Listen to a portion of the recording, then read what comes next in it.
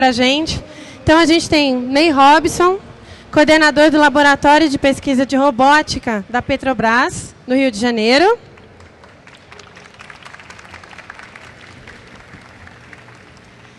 E uma pessoa que, eu falei, eu estava tremendo de apresentar, é uma pessoa muito querida para todos nós. E acho que dizer que ele é o astronauta brasileiro, a gente tem até que segurar as lágrimas, né? Então, Marcos Pontes, seja bem-vindo.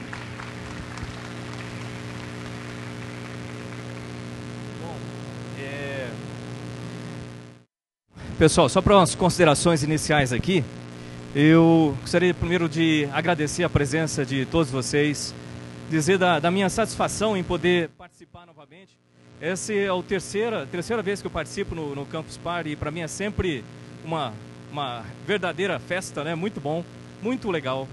É, parabéns a todos vocês que organizam, a todos vocês que participam de todas as atividades aqui é, realmente isso é, uma, é um acontecimento, sabe? É uma, é, quando a gente vê é, todas as pessoas unidas, normalmente você vê pela internet, né? Todo mundo ligado na internet, mas dificilmente você vê a cara e coração de todo mundo aqui perto, assim. Isso é muito bacana, na minha opinião, de se juntar é, pessoas do Brasil. Acho que tem muita gente de fora aqui também. Isso é muito bom.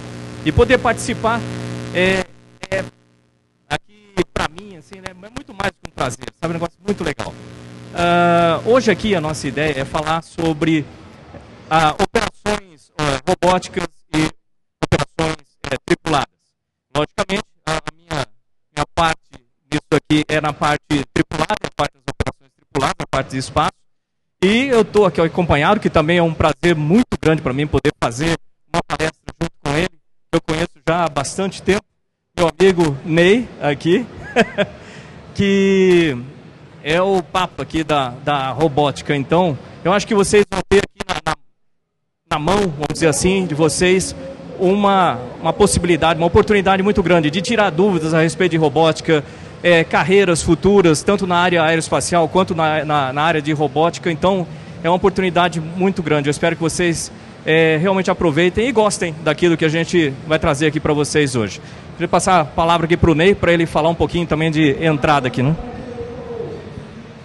Pessoal, boa tarde. É, mais uma vez eu tenho que agradecer o pessoal da, da organização. Eu fiquei muito emocionado, muito lisonjeado quando fui convidado para vir aqui. E é um prazer também dividir aqui a, esse papo que a gente vai ter com o Marcos. Vamos botar a bola para frente aí e ver se a gente pode fazer alguma coisa bacana. Quer ficar com isso? Ok. É, vamos começar aqui. Decolar, né? Como é que a gente decola? A gente já chegou na pista, tudo pronto aqui para a gente começar uma, uma missão. A nossa missão de hoje vai ser realmente estudar aí essa questão de robôs. E a primeira pergunta que passa na cabeça, pelo menos na minha, que eu não sou especialista nisso, então quando a gente estava preparando essa, essa palestra, eu fui a primeira pergunta assim foi o seguinte: afinal de contas, o que, que é robô? Né? O que, que é um robô? O que, que define um robô? O que, que, que se diz que é um robô? O que, que diferencia um robô de uma máquina, né, automação e tudo isso? Então, logicamente, para explicar todas as partes técnicas aqui, eu vou levantar a bola e quem vai cortar ele, tá joia? Então, ele vai falar sobre a definição de robô, como é que é essa coisa toda. Bom, estão é... ouvindo? Estão ouvindo? Bom, quem é da área ou quem tem algum interesse na área de robótica sabe que existem no mínimo é, cinco dezenas de definições para robôs. Então eu poderia até extrapolar e dizer que um liquidificador, dependendo do seu grau de automação e do seu grau de interação com o seu usuário, ele pode ser um robô. Eu não estou aqui para ler definição, porque eu sei que esse negócio é muito chato, apresentação lida, né? Então eu coloquei aqui apenas cinco, apresenta cinco definições de robô elas é, são as definições que mais se aproximam daquilo que nós, lá no laboratório de robótica da Petrobras, a gente entende como sendo um robô. Porque a grande dificuldade do robô não é ele fazer as coisas para as quais você planejou ou projetou. É que ele consiga sair das enrascadas que ele se mete quando ele não consegue fazer aquilo pra, para o qual ele foi projetado. Né? Então a apresentação vai estar disponível. Depois, se vocês quiserem pegar esses detalhes é, escritos, ela vai estar disponível para vocês. Então são cinco definições que nós colocamos aqui e a gente adota lá no laboratório essa definição mais chegada ao pessoal da Austrália, que é essa definição aqui embaixo. E é em cima disso que vocês vão ver os robôs que vamos apresentar aqui daqui a pouco. Próximo. Aí a continuidade das, das outras duas definições, que depois vocês veem para não ficar lendo isso. Mas aí a próxima pergunta que surgiu na minha cabeça quando estava falando, falou assim, vem cá, tudo bem, agora eu entendi como é que é, o que, que é um robô, mas afinal de contas, por que, que a gente usa robôs? Né? Aí vem uma coisa que eu entendo um pouquinho. Porque quando eu vou numa missão, eu coloco ali o boneco, que a gente chama. Boneco é o seu corpo. Eu vou entrar ali dentro, sentar e toda aquela dinâmica, seja de um avião de alta performance, seja de uma espaçonave, eu vou estar acompanhando tudo aquilo lá. Se aquela, se aquela espaçonave explodir na decolagem, eu vou junto com ela. Então não é muito agradável essa situação. E tem muitas coisas que você tem que utilizar uma máquina na frente, que é importante para isso. Com isso, existem situações de risco onde robôs é, são utilizados Existem sistemas dedicados. Pô, o ser humano ele faz muita coisa. A gente consegue fazer muita coisa. Mas eu não tenho uma ferramenta na mão, por exemplo, dedicada para um determinado operação, para uma determinada operação. Então, com robôs, a gente consegue ter é, sistemas dedicados exclusivamente para aquela tarefa lá. Ambiente restrito. Pô, para eu chegar do lado de fora da espaçonave, eu tive que fazer 140 horas dentro da piscina primeiro para aprender a operar aquele traje. Para depois que sabendo operar aquele traje, eu vou ter que manobrar ele de acordo do lado de fora. Se eu cometer qualquer erro, a minha vida está em risco, eu coloco a vida dos meus amigos lá dentro em risco. Tem toda uma parafernália para que a gente consiga sobreviver em certos ambientes restritos, ambientes inóspitos, como é o caso do espaço. E tem ambientes que a gente simplesmente não cabe. Pô, se você quiser entrar num tubo, por exemplo, não tem como. Você vai ter que colocar algum robô, alguma sonda para lá. Então, ambiente restrito. Próteses. É... Muita gente, infelizmente, acaba perdendo algum membro. E hoje em dia a gente vê que cada vez mais a gente tem próteses sendo aplicadas. E cada vez mais essas próteses estão sendo mais próximas do, do movimento, da força humana, do comando e resposta de acordo com como deveria. Robótica entra nisso também. E outras coisas. Próximo.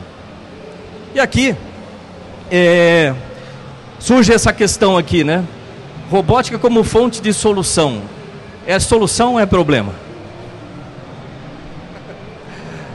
Pessoal, quando, quando o ser humano começou a se é, vamos dizer assim, ousar, começou a ousar aí para regiões que ele não conseguia ir, como esse maluco aqui vai, ele precisa ter um braço estendido do que ele precisa fazer lá na frente, tá certo? Só que isso passou um pouco dos limites é, lá do início da, da, do estudo da robótica. Então hoje, como ele falou, as pessoas já estão conseguindo fazer prótese, conseguindo fazer réplicas, e daqui a pouco isso juntando com estudos de biogenética, vai ser muito fácil a gente ter coisas muito surpreendentes, parecidas com seres humanos. Ser humano acho meio complicado ainda. Por favor. Aqui à esquerda tem um exemplo que o, o Marcos pode falar. Aqui à direita nós temos um robô que faz inspeção em dutos de esgoto. Mas isso pode ser esgoto, pode ser água pluvial, pode ser qualquer galeria que esteja com algum problema. Nós na Petrobras temos uma bateria enorme de equipamentos para fazer esse tipo de inspeção dentro de tubulação, que é um dos exemplos que eu vou falar daqui a pouco. Marcos, se quiser falar um pouco da parte de Marte. É, eu vou, eu vou comentar um pouquinho mais para frente, não nessa, nessa hora, um pouquinho mais para frente eu vou falar a respeito dessa, desses robozinhos, de, dos rovers que, que a gente utiliza em outros locais, em outros planetas, e por que, que eles são úteis e quais são as dificuldades de operar isso. Mas vamos manter isso aí em suspenso por enquanto. A próxima, Cris. Aí. Nessa Concordamos hora, nisso. nessa hora nós temos a opinião completamente parecida. É, muitas, muitas pessoas aqui devem achar que isso que eu vou falar é meio chato, mas na verdade a gente está usando muito do nosso intelecto, muito da nossa capacidade inventiva, muito da nossa criatividade para trabalhar com robôs de guerra. E isso muitas vezes é incentivado até por escolas, escolas de renome. Isso é uma coisa que a gente não dá muita força. Então, por favor, quando forem fazer robôs, se alguém se interessar por essa área, vamos fazer robôs que atendam a sociedade e não que destruam a gente, tá certo? Porque muito você pode muito bem estar desenvolvendo um robô que amanhã vai ser usado para jogar bomba na tua cabeça, tá certo? Então nós vamos apresentar aqui hoje também um robô que está sendo feito para trabalhar em áreas legais para ajudar a sociedade. Então, por favor, sempre que possível, evitem fazer robôs para guerra. É, é uma coisa legal lembrar também, eu sou aqui no Brasil, eu sou o embaixador no Brasil da FIRST. A FIRST é uma fundação que foi criada nos Estados Unidos, existe em vários países e o objetivo é usar a robótica para incentivar a ciência e tecnologia dentro da educação.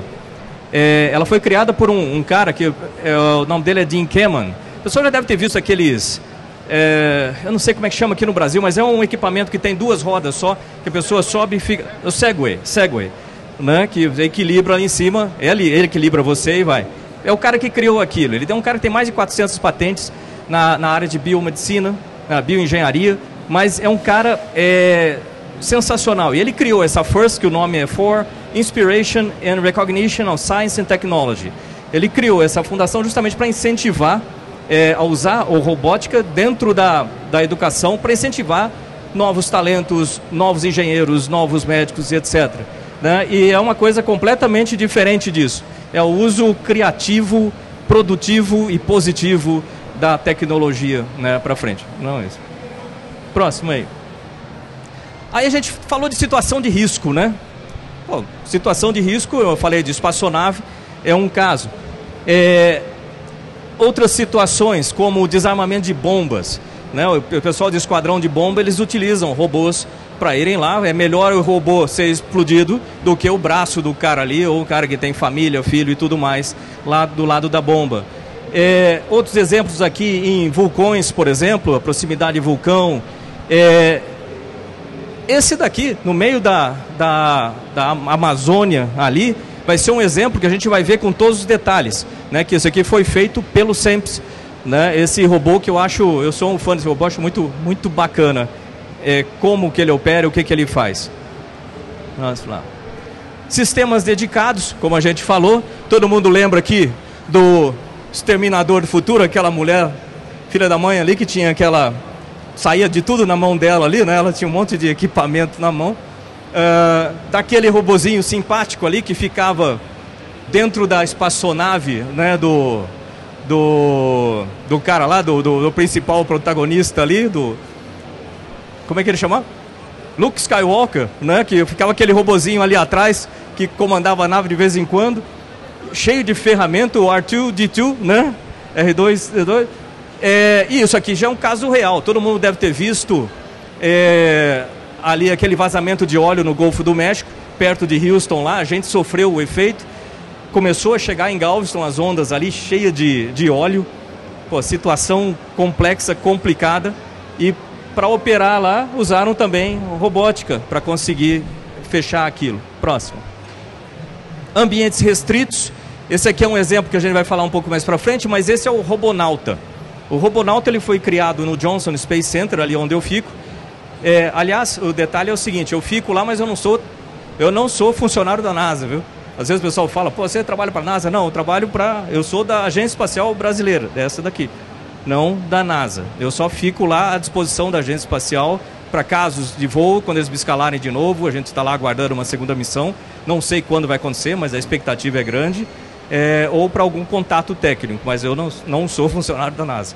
E lá na, no Johnson foi criado então o Robonauta, que ele vai agora na missão na, na 133, que está marcada por enquanto para fevereiro, mas deve atrasar para maio. E ele tem as características humanas, então, em termos de força, habilidade com as mãos, e a gente consegue comandar de dentro da estação espacial. Por quê? É muito mais rápido ter um robô lá fora do que a gente colocar aquela roupa toda e ir para fora além de ser mais arriscado, é mais demorado. Então, É uma mão na roda, vamos dizer assim, esse robô lá. É, aqui alguns outros exemplos que o, o Ney também vai falar a respeito do girino, ambiente inóspito para um ser humano, além de ser impossível de entrar, né? Na, num tubo desse aí, a não ser que fosse aquele cara dos Quatro Fantásticos lá, o homem elástico ali, né? Mas também é um exemplo que ele vai citar com detalhe também, logo mais para frente. Próteses. Aqui eu botei essas duas fotos, estão dois lados aqui. Todo mundo lembra desse filme aqui, do Homem é, Bicentennial aqui?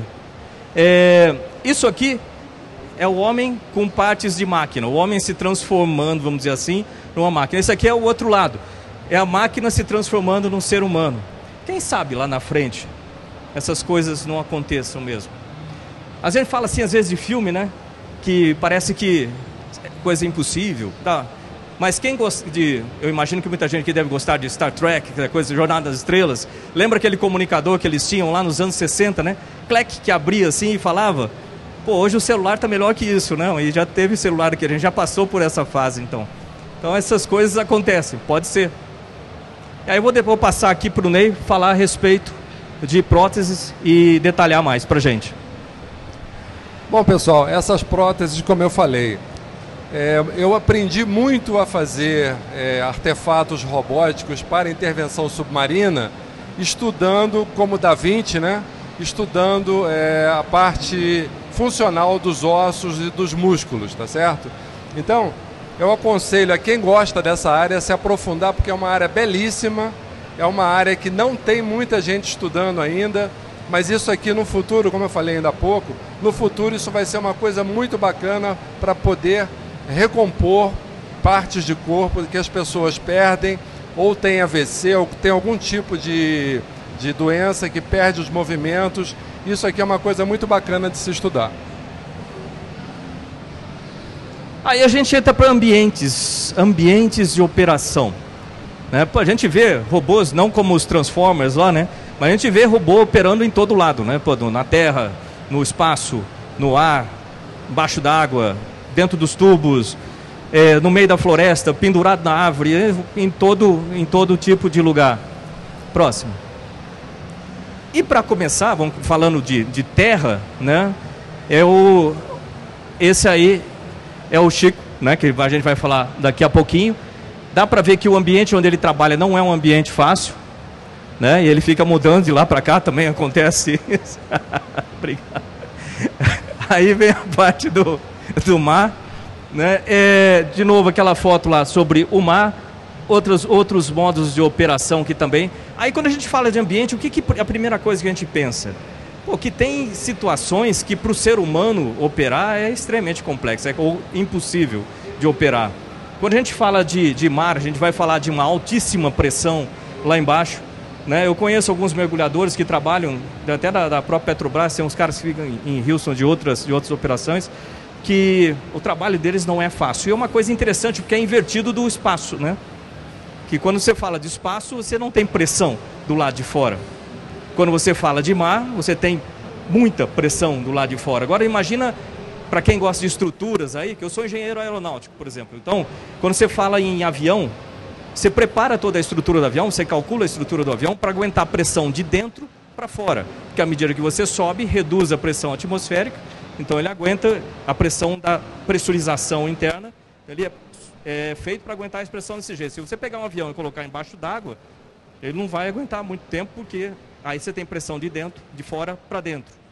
Isso também vai acontecer em operação embaixo d'água, comparado com a operação no espaço. Além disso, a gente está falando em umidade, está falando em sal, está falando em, é, em outras coisas que podem danificar todos os sistemas embaixo d'água. Próximo. Na parte de espaço, o que, que tem de é, inóspito, vamos dizer assim, lá no, no espaço?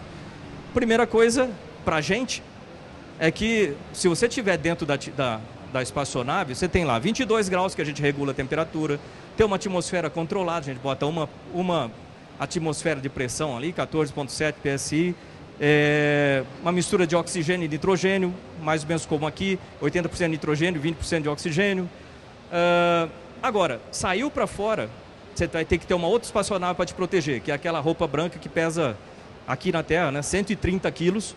No espaço a gente continua com 130 quilos de massa. Então, quando você vai se mover com aquele negócio, você tem que se mover muito cautelosamente, senão você acelera. Lembra que ainda existe a tal da inércia, e para frear é outro problema. Então, aquela roupa você tem que trabalhar com muito cuidado. Mas, de qualquer maneira, lá fora a gente está sujeito a micrometeoros, né? partículas que vão bater, podem bater na gente com alta velocidade, vão perfurar, ela tem uma série de camadas, mas vão perfurar. Um robô, ele vai ser atingido, mas ninguém vai morrer se ele, se ele der pane lá fora. É, a própria falta de gravidade afeta o corpo humano muito.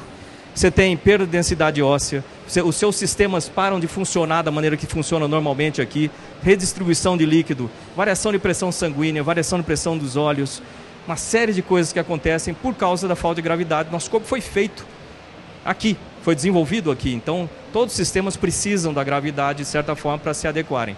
Lá em cima, é, o corpo começa a dar pane. Exemplo, né? É, todo astronauta quando vai volta com algum tipo de sequela, é normal isso. Eu tenho três que eu ganhei do voo, fora as normais que você tem de radiação, que você vai voltar com radiação, que você nunca mais vai perder isso aí. Perda de densidade óssea, que eu já falei, perda de tonicidade muscular, ainda tem algumas, cada um vai ter alguma coisa diferente. Eu tive três, uma delas foi alergias, eu não tinha alergia antes de ir para o espaço, hoje em dia eu tenho todo tipo de alergia possível, foi logo depois do voo adquirir isso aí. Eu tenho hemorragia nos dois ouvidos, de vez em quando, por, sem razão nenhuma, começa a sangrar o ouvido, e não é problema de pressão. E eu tive variações hormonais, se olharem, hoje eu estou bem mais pesado do que eu estava naquela, naquela época do voo. Isso não é porque eu ando comendo muito ou porque eu fazer coisa. Essas variações hormonais fizeram com que eu perdesse peso inicialmente, muito peso, depois ganhasse bastante e hoje está sendo controlada sem problema. Incomoda, mas sem problema. Eu posso ser escalado a qualquer momento, sem problema também. Essa coisa é fácil de, de controlar isso aí, não, nem, nada disso pega para o voo. Mas para verem como, como a falta de gravidade e o espaço afetam o corpo humano. Por isso que um robô, para ele é muito mais simples trabalhar com isso. Mas, mesmo assim, quando você vai projetar um robô para trabalhar no espaço, você tem que considerar que ele está sem gravidade naquela, na órbita ali. Então, todo o sistema de circulação de líquidos, óleos, bombas, é, a parte de juntas, toda a lubrificação de tudo isso tem que levar em conta essas coisas. A pressão, como eu falei, né, que lá você vai ter um vácuo basicamente, é, a distância. Distância é interessante, porque se eu estou dentro da espaçonave comandando o robonauta do lado de fora, não tem distância, praticamente é tudo, tudo imediato. Eu mando um sinal, ele me manda a resposta, o que ele enxerga eu vejo quase instantaneamente e assim vai. Se ele tiver, se eu tiver na Terra comandando alguma coisa em Marte, aí a distância pega. Imagina, como é que você vai controlar tudo isso? A distância. Você vai mandar sinal. O que, que acontece? Quanto mais longe, mais autônomo o robô vai ter que ser. Porque ele não pode esperar cada detalhezinho que você controle ali. Então ele pode fazer algumas coisas e vai te perguntar no momento que ele precisa, você vai ter que responder. Mas não dá para controlar cada detalhe. Não dá para trabalhar coisa fina com ele é, poeira, dust, né? a parte de. Já notaram, lua, por exemplo, quando o pessoal pisava, aquela, ficava aquela marca toda, o pó é extremamente fino. Marte, mesma coisa. Aquilo ali danifica.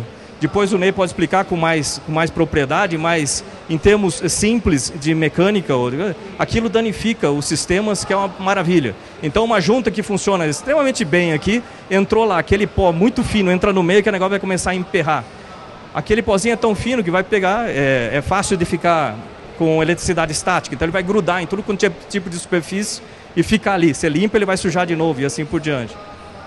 E a manutenção.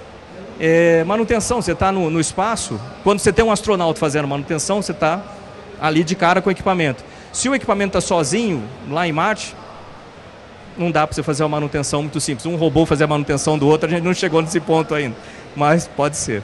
Próximo. E aí vem a próxima pergunta, né? Que eu falei, pô, falando com o Ney, eu falei assim, vem cá. E essa questão, eu, eu trabalho do lado de humano, né? E tem o lado dos robôs. Essa comparação entre robô e o ser humano, vantagens e desvantagens disso, né? Aí eu anotei uma série delas aqui Tamanho, por exemplo. Né? Pode ser, geralmente é uma vantagem para os robôs, porque eles podem se adaptar. Você pode fazer o robô do tamanho necessário, desde um robô pequenininho até um robô enorme. Robustez, ele pode ser, ele é geralmente muito mais robusto que o ser humano, que o corpo humano.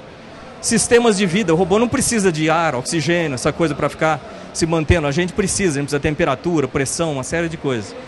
Menos requisitos. Quando você vai fazer um foguete para levar um, uma sonda, uma, um, um satélite, alguma coisa, você tem certos sistemas e requisitos para os sistemas. Você vai fabricar alguma coisa que vai ter um ser humano dentro, o nível dos requisitos sobe lá em cima. O custo vai junto também disso aí. Aqui a questão de custo, de novo a vantagem dos robôs. É, tempo de vida, aí depende. Depende. É, às vezes o ser humano dura mais que alguns robôs, os robôs podem durar mais que um ser humano. Emoção, a mesma coisa. Pode ser uma coisa boa, pode ser uma coisa ruim. Imaginação, homem, vantagem humana. Criatividade, humano. Representa a humanidade? Vamos pensar. Próximo. Como eu falei, agora eu vou passar rapidinho por aquelas mesmas coisas. Em termos de tamanho, isso aqui é um nano robô, né? Perto de algumas células de sangue aqui. Pô, deve ser robô desse tamanho, é possível. Ou um robô enorme como esse, próximo, numa fábrica de automóvel. Robustez, né? Dá para ver aqui, próximo. Não precisa de sistemas de vida. Olha só, aqui a gente está dentro de um Soyuz. Esse aqui é o Bob Tursk, que é um amigo meu, um astronauta canadense é, dentro do Soyuz ali, você vê, tem que o um macacão, o macacão tem que ser pressurizado, você tem que usar um monte de, de sistemas, você tem que ter a, toda a parte de ergonomia para colocar esse, o ser humano no lugar correto, que consiga movimentar os, os membros e não ficar com as pernas dormentes, como a gente fica ali, e uma série de coisas para manter o ser humano vivo. O robô, não. Às vezes causa surpresa quando a gente mostra essa foto aqui, que às vezes o pessoal acha que o Spirit é pequenininho, né? Ele não é tão pequenininho assim, não. Próximo. É, menos requisitos. Pô, isso aqui é uma foto de um. Aliás, alguém sabe que, que veículo é esse? Que está esse menininho sentado? Alguém sabe? Lembra do ônibus espacial? Esse aqui é o, é o parente russo do ônibus espacial. Esse é o Buran. Então, essa foto do painel do Buran com o menininho aqui dentro. Né? Então, essa diferença de para fazer um veículo desse tem que ter muito mais requisitos, obedecer muito mais requisitos significa mais custo. E quando você fala de custo, você fala em custo em fazer o robô e custo em é, perder o robô ou perder o equipamento que tiver ali, certo? Nossa, isso aí deve ser aquele robô ali do lado. em perder o robô. Se você perder, o que, que você prefere perder aqui? Essa é a questão. Se tiver uma missão, você manda esses dois seres para lá, né? Um desses ou um desse. Próximo. Tempo de vida. Esse aqui é o Cibers, do nosso programa espacial brasileiro, junto com a China. Ele é um satélite que faz é, a varredura da Terra, então para tirar fotos né, da superfície em várias frequências diferentes. É, ele dura, ele é previsto durar dois anos no espaço.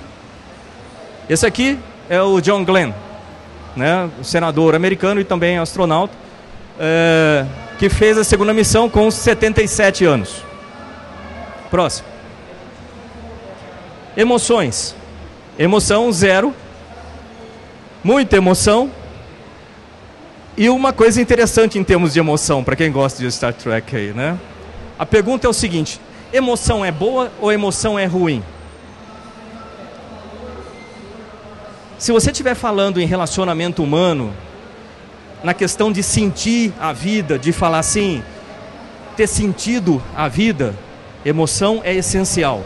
Sem emoção, nada tem significado. É como se você estivesse passando um tempo aqui e acabou. A emoção é essencial para o ser humano, em tudo. Né?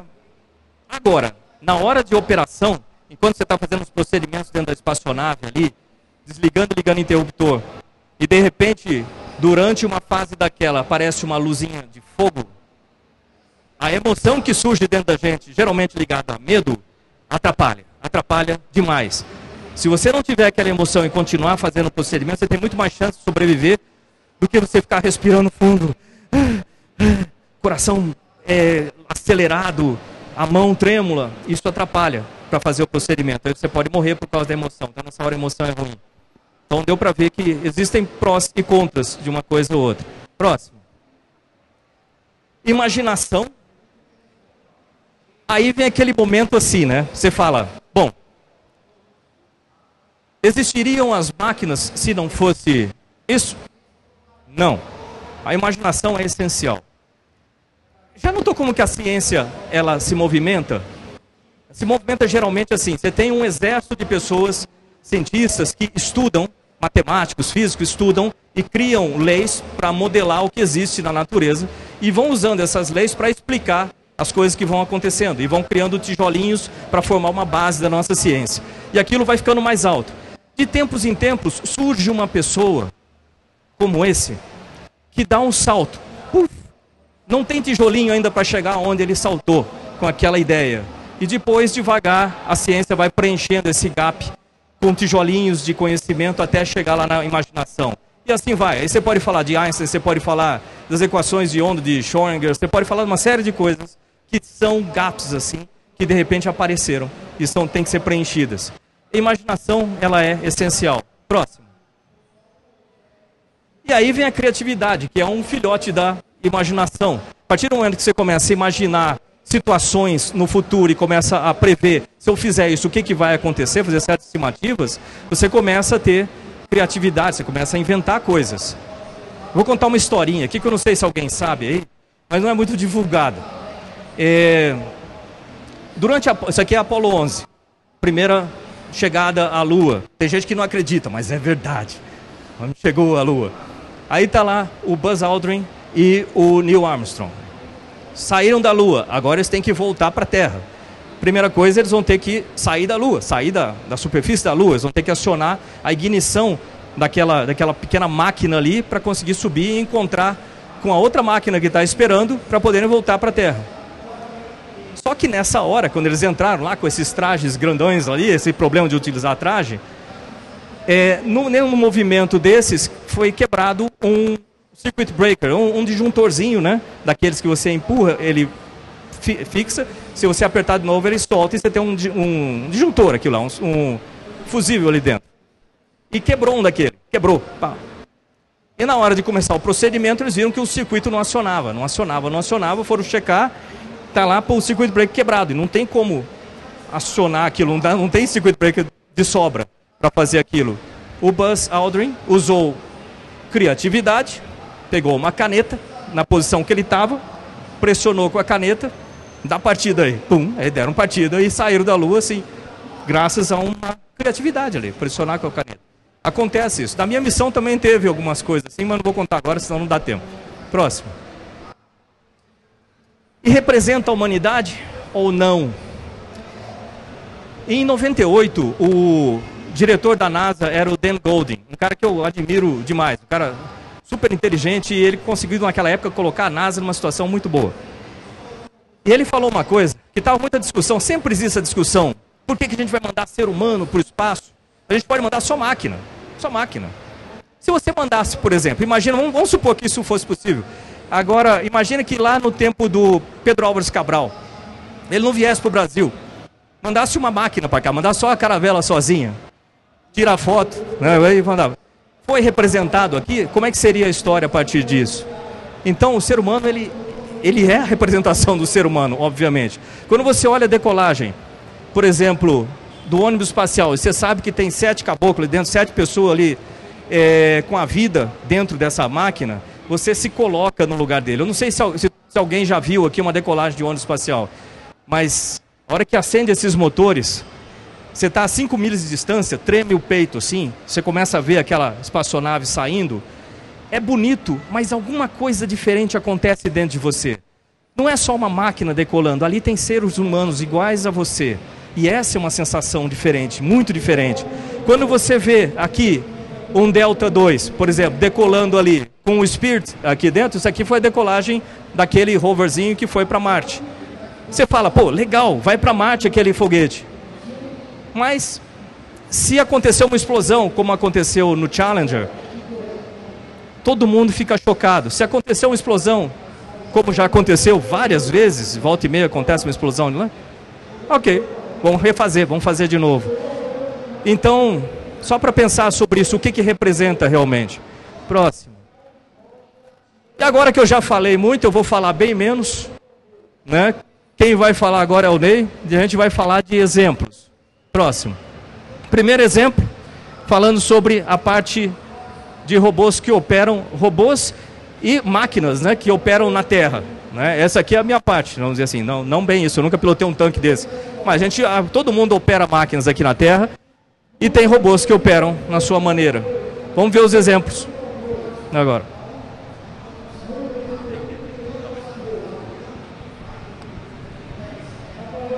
Bom, pessoal, como eu falei ainda há pouco, agora nós vamos dar um, uma, uma rápida passagem pelo um desenvolvimento da Petrobras, que é para atender uma necessidade de trabalhar no meio da floresta amazônica.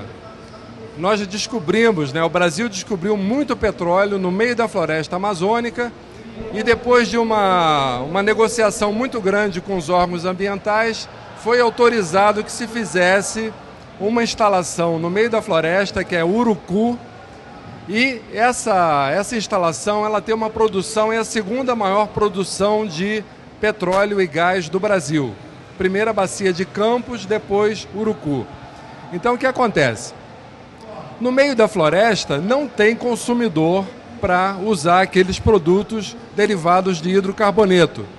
Então é necessário que se tire esse, esse óleo, esse gás do meio da floresta. O petróleo ele estava vindo para Manaus via barco. Então o petróleo é colocado numas barcaças enormes e essa barcaça vem até Manaus e em Manaus ela é distribuída. Mas o gás, aqui cabe um parênteses, o óleo de urucu é um óleo de excelente qualidade ele é equivalente a um óleo árabe. Na, na graduação da indústria do petróleo, a gente diz que é um óleo leve, é 42 grau API. O pessoal que recebe a gente lá em Urucu até faz uma brincadeira com a gente, que é o seguinte: eles levam a gente de jipe até a região da, da exploração de petróleo e chega lá o motorista simula que faltou óleo no, no, no jipe aí a gente fica apavorado. Ele vai lá na árvore de Natal, que é o equipamento que tira o petróleo, enche uma, uma latinha de petróleo direto do reservatório, vai, coloca dentro do Jeep, dá a partida e o Jeep funciona. Quer dizer, é um óleo de excelente qualidade que precisa vir para o Rio, para São Paulo, para ser misturado aos óleos da bacia de Campos, que são pesados, para poderem ser refinados. Mas o gás, o gás não tem consumidor naquela região para usar o gás de Urucu. Então o que a Petrobras estava fazendo? Estava pegando esse gás, tirando do petróleo, dissociando o gás do óleo e reinjetando esse gás no reservatório. Isso custa muito dinheiro e aqui no sul nós estamos precisando de gás. Então a Petrobras fez uma proposta de passar, favor, de passar um gasoduto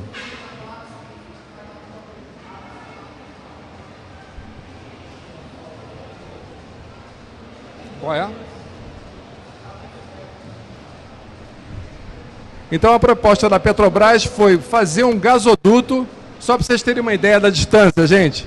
Aqui é a cidade de Manaus, esse daqui é o Rio Negro, esse aqui em azul é o Rio Solimões, e aqui é a cidade de Coari.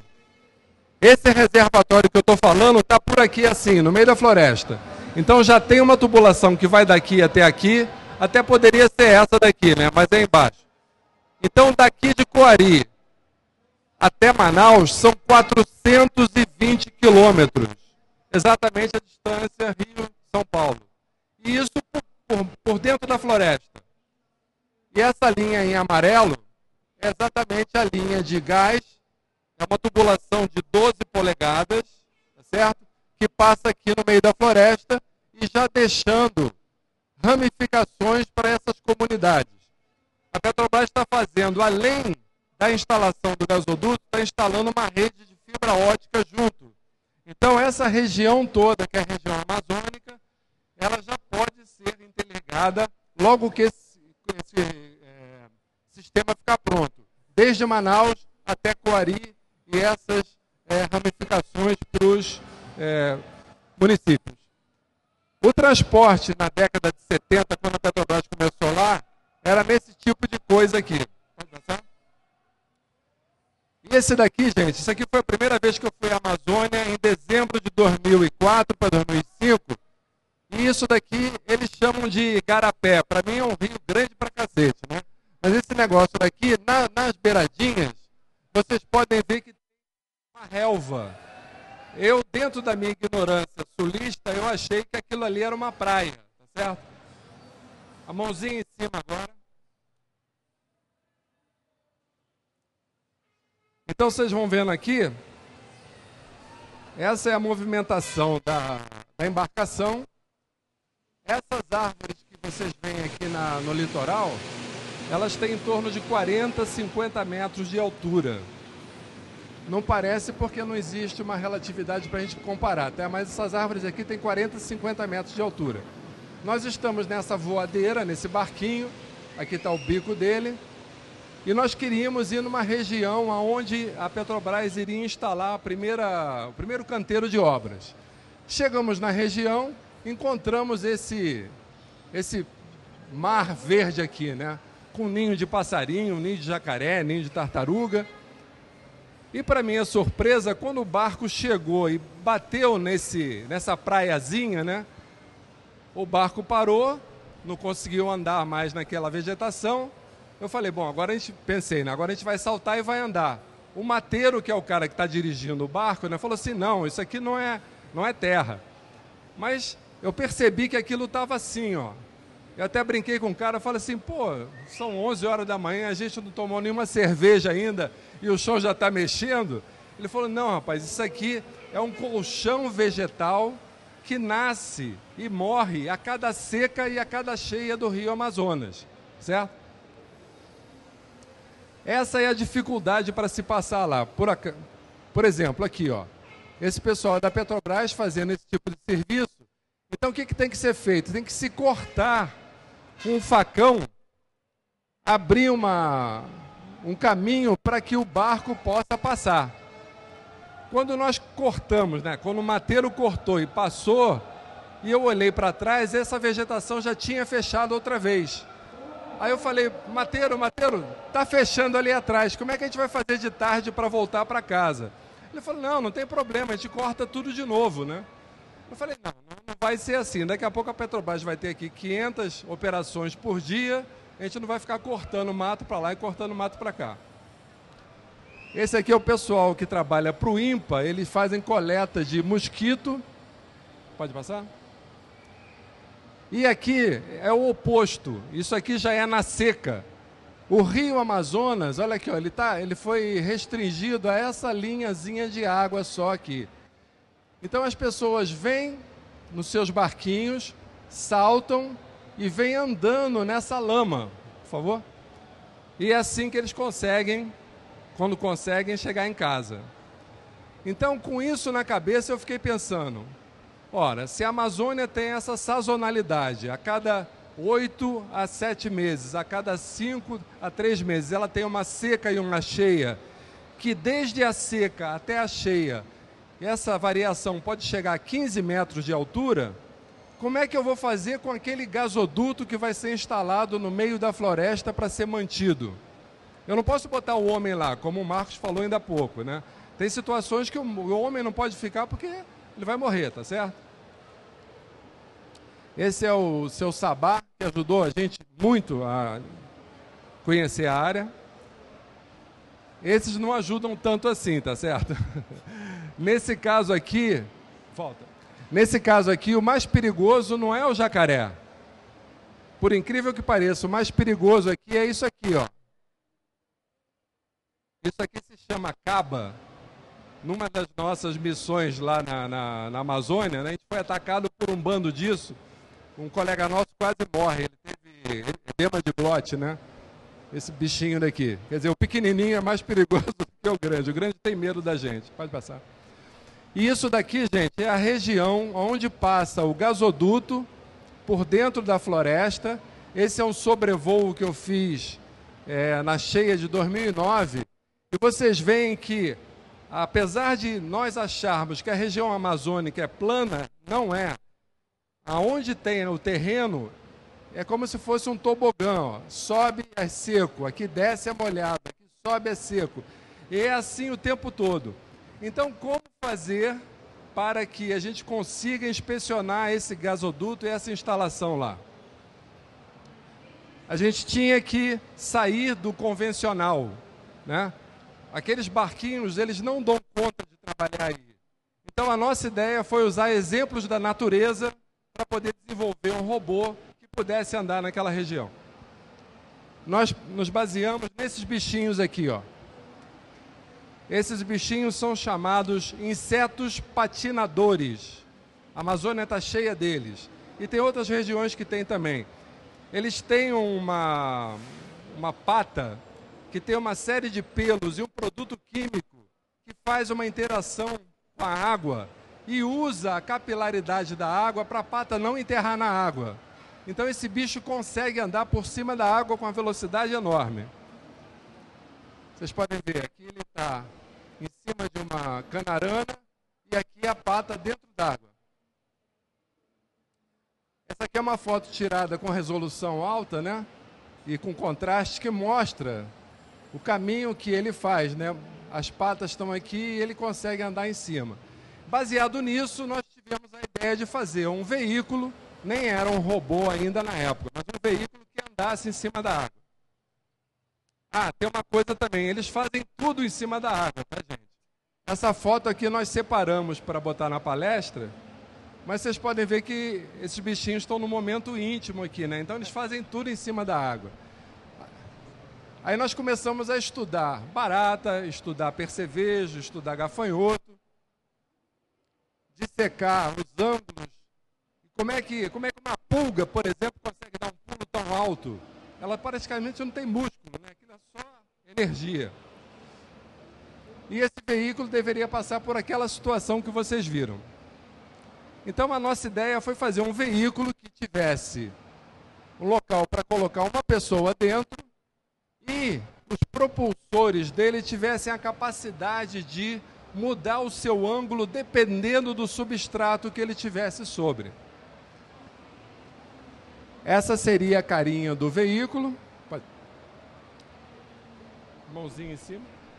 E esse foi o primeiro protótipo que fizemos com rodinha de isopor, coisas muito simples, tá certo?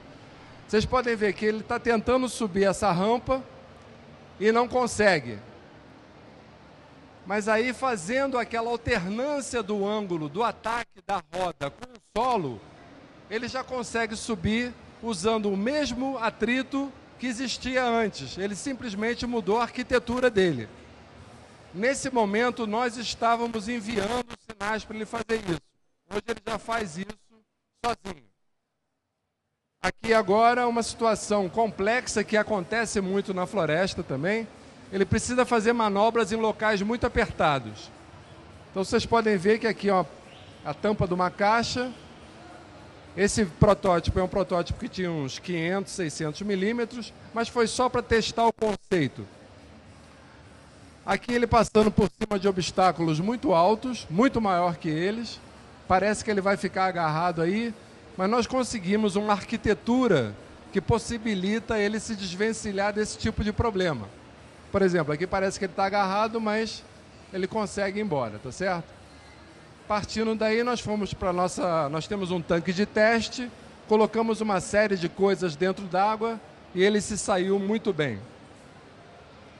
E aí nós fomos, a maior irresponsabilidade, gente, devo confessar. Seis meses depois, nós já estávamos na Amazônia com esse carrinho de brinquedo, tá certo? andando naquela região que eu não conseguia andar naquela, naquela vez que eu fui. Aqui ele andando em cima de uma. Isso não é um tubo, não, é uma árvore caída que a gente usou para testar. Foi a primeira trepada amazônica que o robô deu, tá certo? E aí nós descemos na época da seca, só um instantinho. Na época da seca, como eu falei, o rio desce 15 metros come as beiradas do rio, as margens. Isso se chama bossoroca.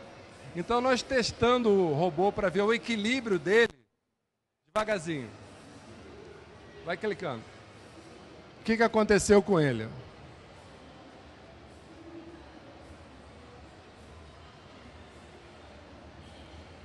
Esse foi o primeiro tombo amazônico dele.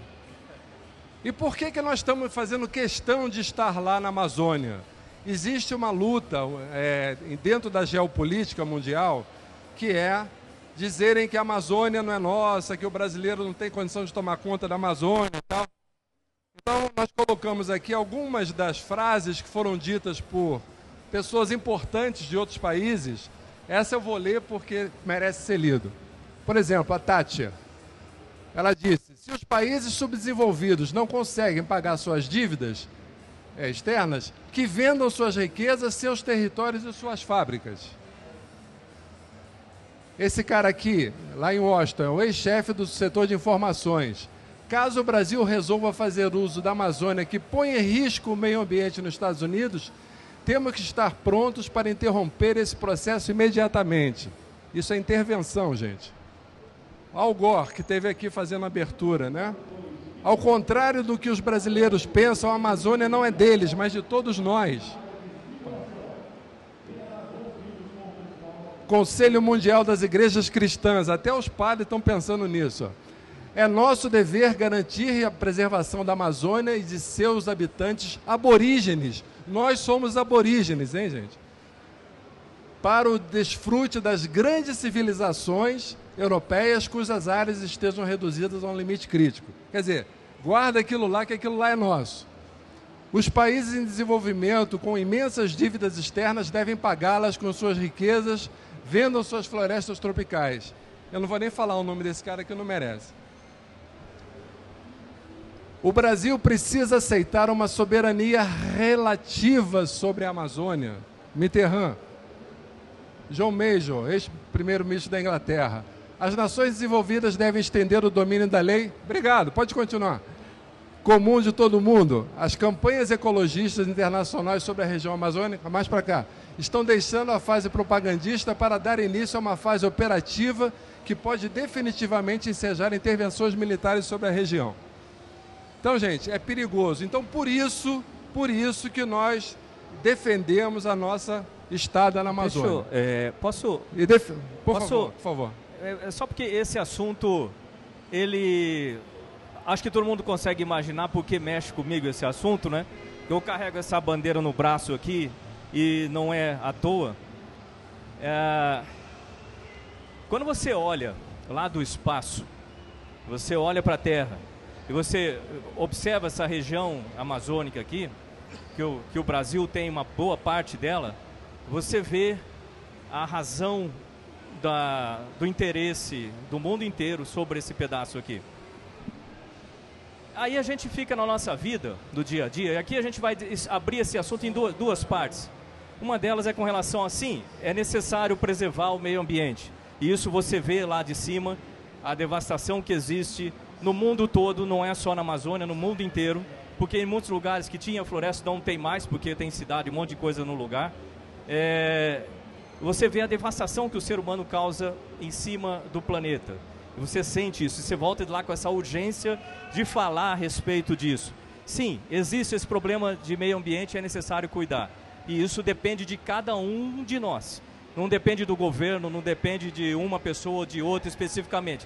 Depende de todo mundo, cada um fazer uma parte. O, o, o Gandhi falava uma frase que eu costumo repetir muito, que eu acho que aplica muito para isso, para essas coisas, que é a seguinte: qualquer coisa que você fizer vai ser insignificante, mas é muito importante que você faça a sua parte. E fazer a sua parte significa não só economizar o copinho de plástico, etc., mas também falar com as outras pessoas a respeito da importância do meio ambiente e principalmente com os pequenininhos, para que eles cresçam com uma outra cabeça. Ótimo. Agora tem um outro lado também com relação a isso, que é, não se esqueçam que, por exemplo, a gente está aqui numa comunidade enorme que conversa com o mundo inteiro é, não se esqueçam que vocês são brasileiros, que cada um que está aqui, pelo menos, deve ter outros estrangeiros, mas a maioria aqui é brasileiro. Então, é, é bom que a gente segure essa bandeira, esse verde dessa bandeira aqui, É nosso esse negócio.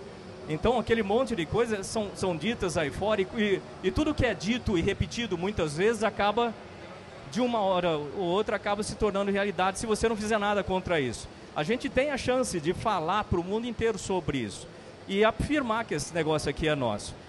Eu não sei se alguém já teve chance de ir lá para a Amazônia e ver de perto o que, que, eu, o que, que a gente está falando a respeito. É um negócio espantoso, é, é maravilhoso, é um lugar realmente espantoso. Aí tem lá o pessoal do Exército, né? Eu sou da Força Aérea, sou da reserva da Força Aérea, mas eu sou da Força Aérea, mas é, tem que ver o trabalho que essas Forças Armadas fazem lá, a Força Aérea, a Marinha e o Exército. Se alguém quiser ver realmente como que isso funciona, dá uma visitada num batalhão de infantaria de selva, que existem alguns espalhados lá pela Amazônia. Eles não têm gente suficiente para cobrir a Amazônia toda, não tem, não tem, não dá para fazer isso. A pé, com, com os meios que existem lá. Mas vocês vão ver brasileiros lá que passam a vida, dão a vida ali direto por, por, pela essa, essa floresta. E precisam, pelo menos, do apoio, da consciência de todo mundo, todos nós, brasileiros também. Então, toda vez que tiver uma chance, escreve sobre isso. Escreve, Excelente. ajuda. Excelente, obrigado. É Valeu. Então, como é que a gente responde a isso, né? Brilhantemente é, complementado pelo Marcos mostrando que nós temos condição sim de tomar conta daquilo, tá certo? E nós temos aqui, ó, 6 mil cabeças que têm capacidade de fazer coisas, não só para lá, mas para o Brasil inteiro. Essas são as patentes que nós fizemos em cima daquele veículo inicial. E aqui agora um, um primeiro teste que nós fizemos com mãozinha. Som.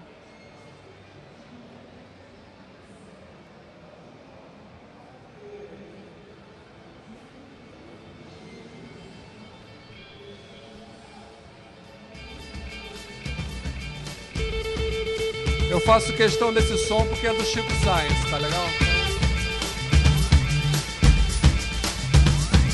Aí tá o robô, primeira vez que a gente estava testando já o robô grande na floresta amazônica. Vocês podem ver a correnteza aqui atrás, ó.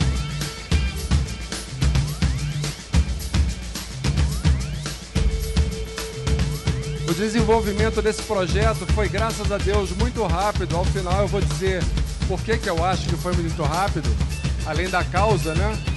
É, e nós, em um ano, nós já tínhamos esse, esse protótipo cabeça de série pronto.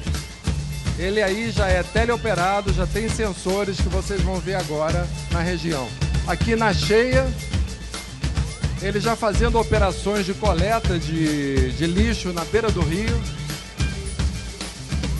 Ele está sendo operado de um barco de operações que está próximo.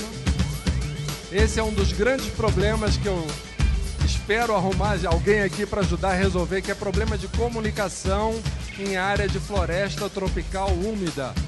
Vocês sabem disso, que vocês gostam de tecnologia? Lá não funciona nada. GPS não funciona, nada funciona.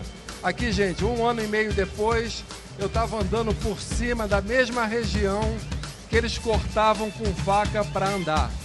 Aqui vocês podem ver que a relação peso, área de é muito pequeno, então ele não danifica a vegetação. Isso daqui, gente, é o colchão vegetal que ele está andando por cima. Parece que ele está andando no, sei lá, na Avenida Paulista, né? Isso aqui, eu tenho certeza que ninguém nunca andou nessa região. Isso aqui é aquele mesmo colchão vegetal e ele manobra com a maior facilidade em cima. Obrigado.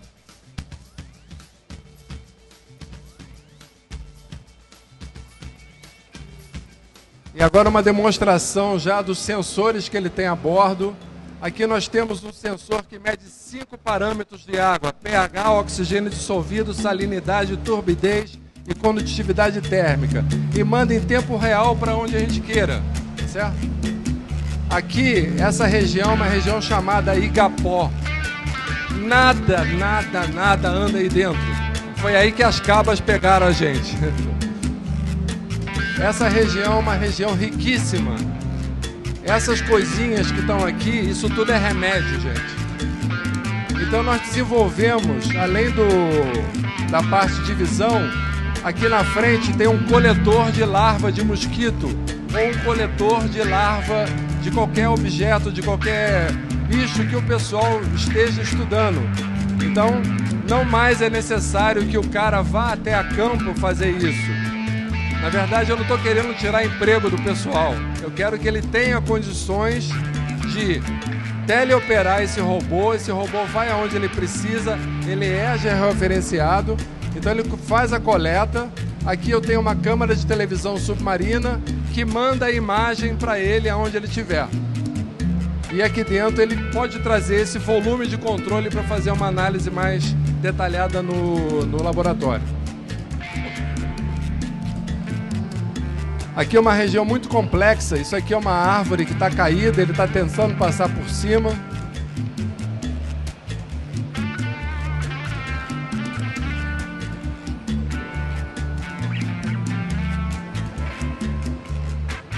Depois nós demos a volta com um barco de longe e fizemos essas, essas imagens. Ele passou por cima desse tronco aqui, ó. O nome dessa árvore é um nome engraçado, é Assacu. Né? Então é uma árvore que eles usam para fazer os flutuantes que eles moram em cima. É uma árvore fortíssima que dura séculos. E tá aí o nosso robô brasileiro andando na Amazônia brasileira. Esse aqui é o sistema de, de, de visão. Essa é a imagem que ele está mandando para o barco que está aqui, ó, a um quilômetro de distância dele. E claro, na hora que nós chegamos na comunidade foi uma festa com as crianças. Né? Não teve aula, foi feriado, foi mal barato.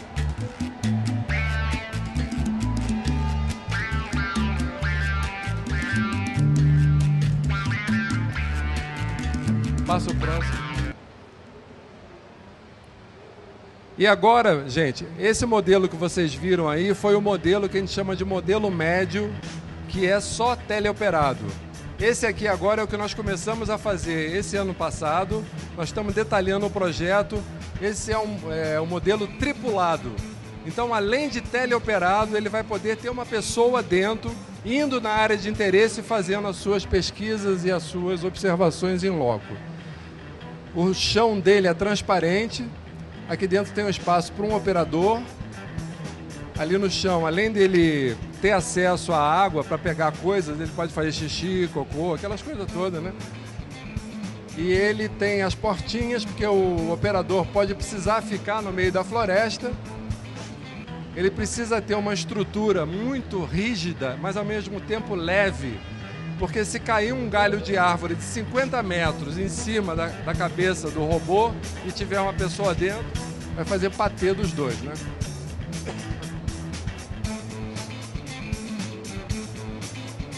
Então essa é a carinha dele. E agora uma imagem é, artística do que, que ele faria lá. Aqui nós temos o gasoduto enterrado. Vocês podem falar, pô, mas cadê as árvores da Amazônia? Lá tem região sem árvore também, tá? Aqui em cima vão ter dois sistemas de TV estéreo. Aqui está o duto, ele passou de uma área enterrada, agora vai passar por uma área molhada.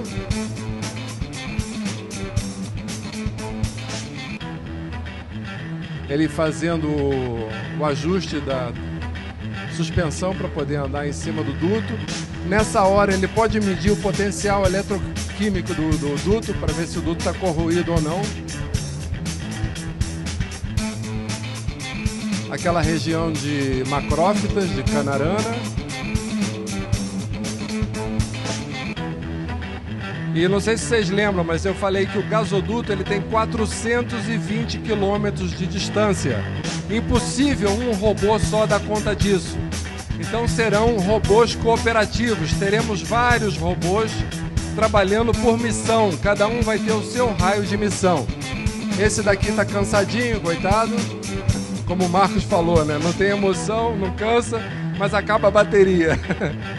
Esse aqui vai sair de cena e aquele ali vai entrar para sua área de missão e vai pegar um trecho de duto e vai continuar. Aquele que está saindo do trabalho, ele volta para uma região que nós estamos chamando de marinas. Na época foi em homenagem à nossa ministra.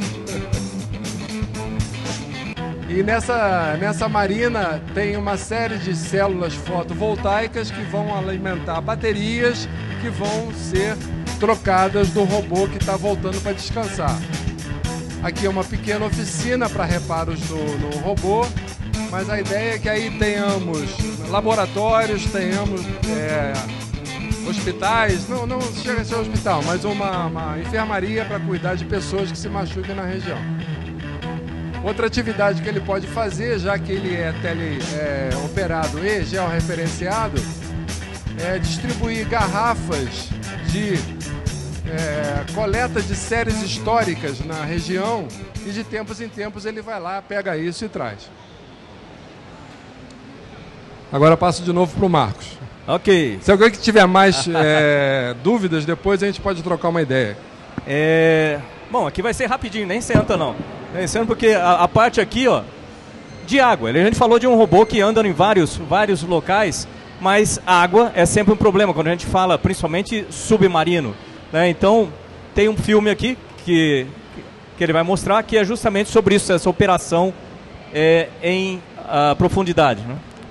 É, grande parte da nossa especialidade lá no laboratório de robótica foi montada e foi criada em cima de intervenções submarinas. Eu mesmo já tive a 411 metros de profundidade. Foi o que me fez ficar assim, né? Então, nessa profundidade, como ele falou, que você volta com algumas, alguns problemas, a gente volta com alguns problemas. Então, daí desenvolvermos robôs e ferramentas teleoperadas para fazer o trabalho lá embaixo.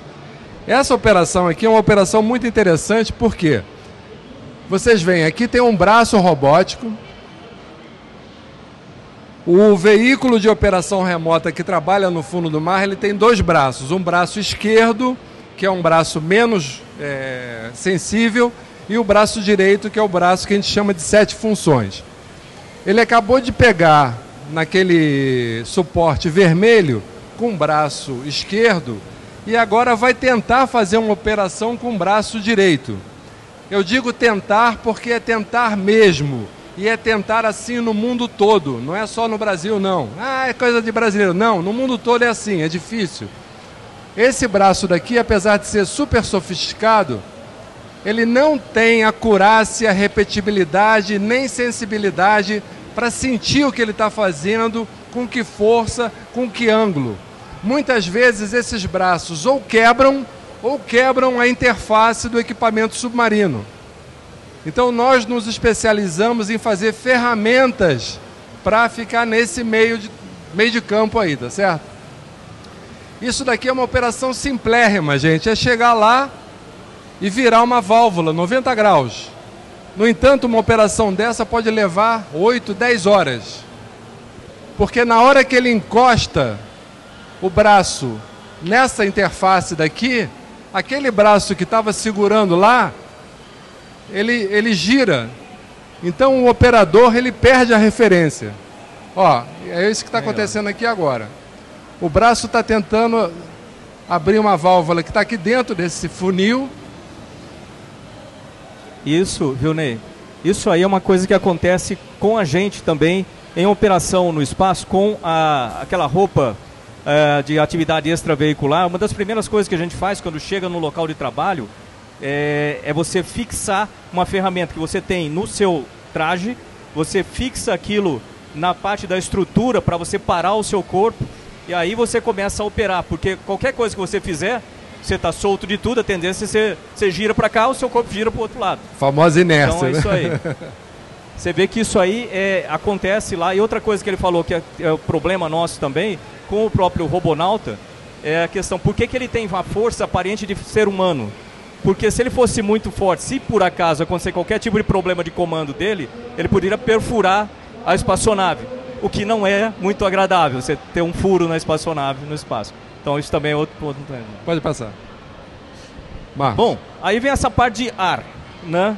Aqui a gente vê veículos tripulados, embora não pareça, né? Empresta o apontador um pouquinho. Embora não pareça, aquilo ali é um homem, né? Com o capacete do F-35 aqui, né? Então F-35, esse é o piloto. E aqui o veículo não, tri, é, não tripulado, mas pilotado à distância aqui por um operador, ou predador. Para ter uma ideia como isso tem tomado lugar, qual a vantagem desses aí? Embora que você tenha visão, você tenha uma série de coisas que você consiga fazer num avião desse, e você consiga raciocinar rápido para resolver certas circunstâncias em que a máquina não pensaria como resolver aquilo, ou não imaginaria alguma solução, por outro lado, o corpo humano é frágil. A gente não aguenta, olha, eu já puxei na, na centrífuga para treinar para o espaço, você tem que aguentar 8 Gs por 80 segundos. Esse é o, e durante a reentrada a gente pode chegar a 11 Gs. Mas eu digo para você que esse é o limite do corpo. Mais do que isso, não dá. Você vai começar a ter problemas nos seus órgãos. Esse aviãozinho ele puxa tranquilo essa SG, sem problema nenhum. E o operador aqui está tomando café ali e está puxando G. Então, perto de casa ali em Houston, tem Ellington Field. Antigamente, aliás, até hoje a gente está com F-16 da Guarda Nacional americana lá com F-16. Estão sendo substituídos por Predador, esses daqui. Próximo. E o espaço, né? Então a gente falou, é, esse aqui é o braço remoto, é, o braço robótico da estação espacial, né? Em que você consegue operar, eu sou qualificado para operar esse braço também. Você tem uma série de câmeras no braço e dentro ali na operação você tem é, basicamente dois tipos de joystick. Um deles é de, de giro e deslo... um deles é de giro e deslocamento, né? E um outro para frente e para trás. Você movimenta, então você trabalha com as duas mãos o tempo todo e olhando por aquelas câmeras em dois visores. Dá para você trocar a sequência de câmeras. Como piloto, eu prefiro voar o braço, que o pessoal chama. Então eu uso a câmera do nariz do braço aqui e vou o braço para a posição que eu, que eu preciso.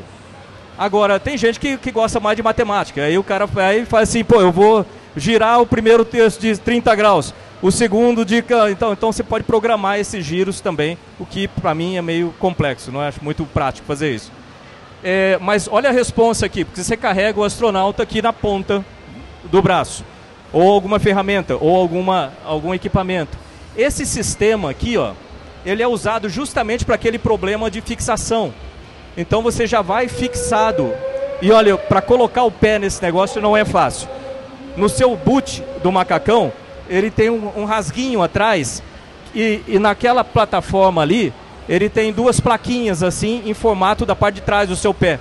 Então você primeiro encaixa na frente daquilo, põe o pé para dentro, gira para ele poder encaixar a ranhura do seu, do seu boot naquela partezinha, assim que a gente fixa o pé ali. Então você treina um bocado até conseguir fazer isso solto ali no espaço. Uma vez que você se fixou ali, aí é uma beleza, você consegue usar as ferramentas sem girar com elas. É, esse aqui é o robonauta, apertando a mão aqui de um, de um, de um astronauta. É, esse aqui é o próprio Hubble, isso aí foi só para acordar. Esse aqui é o Hubble. Esse aqui é o Spirit lá em, em Marte. É, esse aqui, se eu não me engano, é a, ou é a Voyager, acho que é a Voyager, esse daqui, antigo, já está no espaço lá. E isso aqui é um sistema de assistente pessoal que deve ficar na estação. Faz tempo que tem esse projeto. Isso aí vai ficar voando dentro da estação e assessorando os astronautas, né, também no que você precisar. Próximo. E nos outros, o que, que vem depois? Né? A gente falou de uma série de coisas que estão aqui hoje em dia e etc, etc. Mas o que, que vem depois de tudo isso? Eu botei aqui umas, umas fotos aqui só para só excitar a imaginação aí. Todo mundo lembra Todo mundo lembra desse filme aqui do Blade Runner, o, o Caçador de Androids, acho que esse é o nome, né? Tá ali o finalzinho do filme, esse aqui é um Android, esse aqui é de verdade. Ou a inteligência artificial, né? O AI ali com o menininho que é um robô e outro que também é um robô e esse aqui não precisa nem falar, né? Mas o que, que vem depois? que, que vem depois? E onde começou essa história toda, para falar a verdade? A gente já falou algumas vezes, mas só para lembrar. Sempre o que leva o homem, a humanidade à frente é o sonho. Isso não foi eu que falei, né? O nosso, nosso guru ali já falou, mais vale a imaginação do que o conhecimento, tá certo? Então, muitas pessoas lá para trás já pensaram em coisas, né? Então, hoje nós estamos trabalhando no fundo do mar também por conta de uns visionários. Por exemplo, esse cara aqui que fez esse negócio aí, Vocês têm uma ideia do que, que é isso? Sino. Sino de mergulho, exatamente. Pode passar? O sino de mergulho foi primeiramente. Próximo. Ele foi primeiramente desenhado e con concebido por Da Vinci, 1500. Vocês sabem na né, história do Da Vinci, ele escrevia tudo ao contrário, um sacana, né? Ele botava o espelho para ver o negócio. Então, esse conjunto daqui, ele foi materializado mais tarde. Na década de 70, 80, uma, uma empresa grande aí com muita grana pegou esse, alguns desses desenhos de Da Vinci e materializou, tá certo? E fizeram o sino de mergulho do Da Vinci. Como o Da Vinci na época não tinha Kevlar, não tinha materiais compostos, não tinha nada, ele usou para fazer o sistema de respiração bambu e tripa de, de animal, né, que são as emendas aqui do bambu. E então esse aqui foi um dos primeiros, é, uma das primeiras iniciativas de você ir no fundo do mar, tá certo? Tem alguns, né, que gostam de se aproveitar da situação, né, já levam uma namorada e tal. E outra coisa, gente, isso aqui, mais um, mais um. Isso daqui, gente, é uma charge de 1913, né? Olha só, as pessoas estão vendo corrida de submarino, né? Não aquela outra que a gente conhece, mas essa daqui, né? Estão todos com os seus escafandos, os seus trajes, não espaciais, mas submarinos, para poder ver a corrida de submarino. Isso daqui está no Museu de Ciência de, de Londres. Foi um dos primeiros artefatos que foi feito para o homem interagir com o fundo do mar e coletar riquezas. Eles coletavam é, esponjas com esse artefato aqui. Isso aqui né, é um, um tonel que deve ser de rum ou de, de alguma bebida pesada, né? O cara entrava aí, devia ficar doidão só com o cheiro, né? Aqui um tampo torosférico para aguentar a pressão. Aqui na frente tem um visor para o cara poder ver o que está fazendo. Mas essa já foi uma tentativa um pouco mais ousada do homem, iniciativa dele, né, de ir no fundo. Mas como é que, como é que acontece essa história? Isso aqui também é um sino de mergulho. Volta. Não, volta, volta, volta. Olha só, o cara está aqui fora do sino, fazendo lá um trabalho. Essa posição não é bem de trabalho, não, mas o cara tá, estaria fazendo um trabalho aqui. Aqui tem um domo na cabeça dele e esse sino teria ar suficiente para alimentar os dois homens dentro d'água. Até hoje o sistema de mergulho funciona assim, são sempre dois, é sempre uma dupla. Um fica dentro do sino e o outro vai trabalhar. Só que nessa época o ar era insuflado para esse cara aqui respirar através de sopro desse cara aqui, ó. A nojeira, né? Mas era assim que era, o cara soprava lá de dentro e o cara trabalhava lá fora. Mas isso foi evoluindo, né? Então nós temos aqui os limites de mergulho, 15 metros, 50, 400 metros. Essa roupa daqui de 400 metros é muito parecida com o que o Marcos falou, né? É, uma, é um traje atmosférico. Dentro existe a pressão atmosfera, da atmosfera, mas lá no fundo a pressão externa está atuando sobre ele, né? Pode passar? Esse sistema aqui, gente, o Alvin e o Jason, são os dois equipamentos que descobriram e fizeram a filmagem do Titanic, que depois virou o filme. Foi esse conjunto aí. Eles conseguem ir até 4 mil metros. Pode passar? Mas o grande, o grande cara da, da mais atualidade foi o, o Jacques Cousteau, que ele conseguiu fazer um sistema engenheirado para as pessoas respirarem lá embaixo e possibilita as pessoas visitarem cavernas, irem a lugares fantásticos, né? Pode passar? Mas nem todo lugar que o mergulhador vai é fantástico. Vocês sabem onde é que esse cara está? Fazem uma ideia? Está literalmente na merda, né? Ele está num tanque porque entupiu o, o ralinho lá embaixo, né? O pessoal desse negócio aí entrou em contato com a gente. Será que dá para desenvolver um robozinho para ir? Eu falei, não, cara, tô fora dessa. Mas tem esses caras que fazem esse tipo de, de, de serviço, né? Esse é o exemplo típico, né? O cara tá lavando, né? Lavou, tá novo, né? O cara vai sair dali e vai para outra coisa. Mas não é só isso que faz os mergulhadores sofrerem, não. Eu gosto de mostrar isso aqui pelo seguinte: o que o Marcos falou ainda há pouco da ausência de, de pressão lá no, lá no espaço, no fundo do mar nós temos o excesso de pressão. Aqui, por exemplo, vocês estão vendo um copinho de isopor, que é um copinho que, é, pela densidade do isopor, ele é muito leve, né? Ele tem bolhas dentro dele. Esse mesmo copinho de isopor nós colocamos na nossa câmara hiperbárica lá no centro de pesquisa a 100 atmosferas. Esse copinho daqui era igualzinho a esse copinho daqui, tá certo? Então vocês podem ver que a pressão atua em todas as direções e sentidos dentro da água, dentro do fluido. Então esse copo, que era desse tamanho, ficou desse tamanho. Não satisfeito com isso, pegamos um outro e colocamos a 300 atmosferas. São 300 quilos por centímetro quadrado. Quer dizer, a Petrobras está indo cada vez para águas mais profundas pegar óleo para gente, tá certo? O homem que vinha fazendo o acompanhamento e a manutenção desses equipamentos, seguindo o equipamento, ele não pode ser enviado para 3 mil metros de lâmina d'água. Senão ele não vai voltar pequenininho desse jeito, tá certo? Ele vai virar uma pasta. Então, por conta disso, de novo, a robótica é importantíssima e a teleoperação também.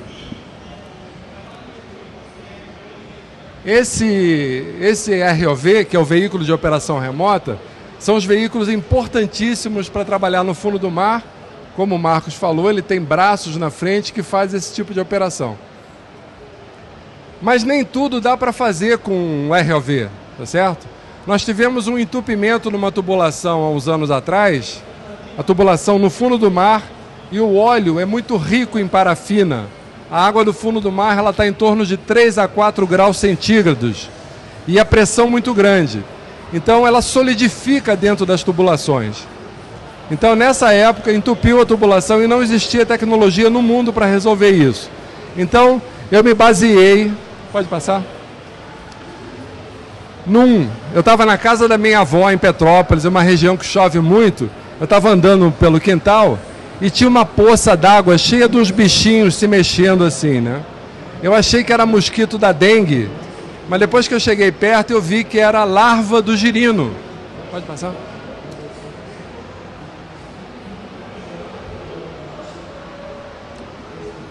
Essa, essa imagem daqui de baixo já se aproxima de um sapo, que vai, um girino que vai virar sapo. Então, baseado nessa, nesse desenvolvimento, eu comecei a estudar biomimética, que é um negócio que eu nem sabia que existia, e vi que na, na natureza já existem trocentas soluções para cada problema.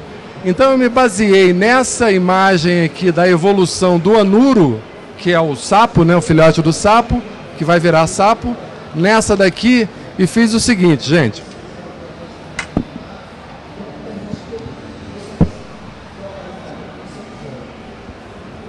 Olha só, o difícil era emprestar da natureza aquele, aquela função que ele tem de bater a cauda e sair andando dentro da tubulação.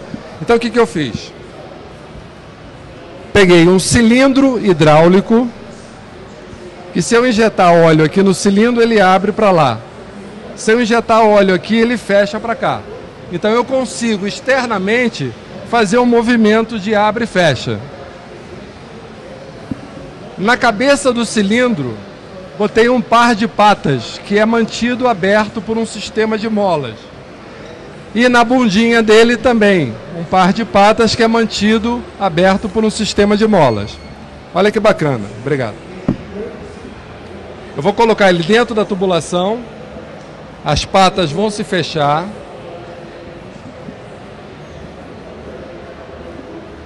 Se eu soltar, ele vai cair, não vai? Não. Isso aqui é o que aquela menina que trabalhava na televisão, a feiticeira, falava, né? Isso não é magia, é tecnologia, tá certo? Então nós temos aqui a física mais simples que tem são vetores. Eu tenho aqui quatro vetores, quatro vetores atuando aqui nesse eixo e nas patinhas. Olha só que interessante. Quando eu abrir a pressão do óleo para o cilindro expandir, o que, que vai acontecer com as patinhas? A patinha de trás vai ficar e vai empurrar a patinha da frente para frente.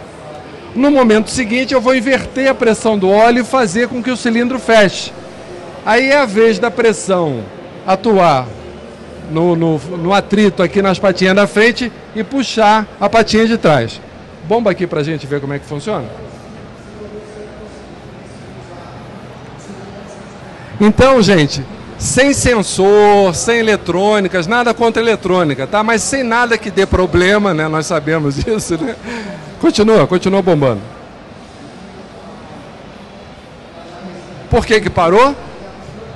Porque acabou o duto, tá certo? Então, enquanto, olha só que bacana.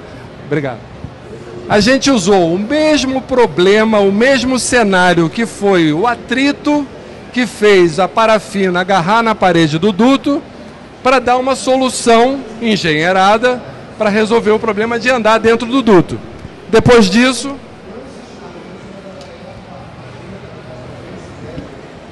Quer brincar vocês dois?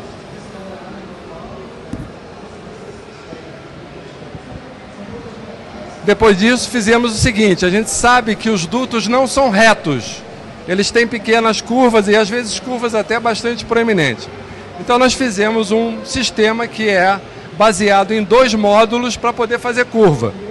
Então, quando você bota ele aqui dentro, levanta para o pessoal ver.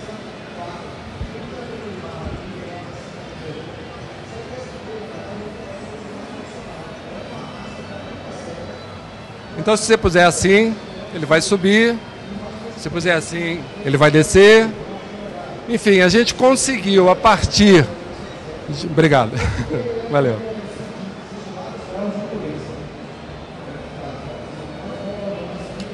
A gente conseguiu, a partir da observação de um bichinho da natureza, um ser desprezível lá que estava nadando na poça d'água, ter uma solução de engenharia para fazer o robô que eu vou mostrar para vocês.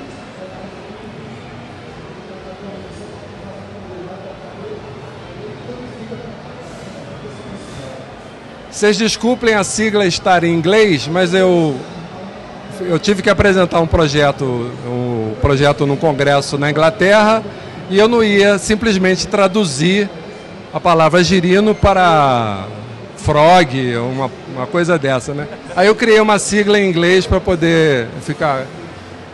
Então, esses aqui são os desenhos que nós fizemos na época.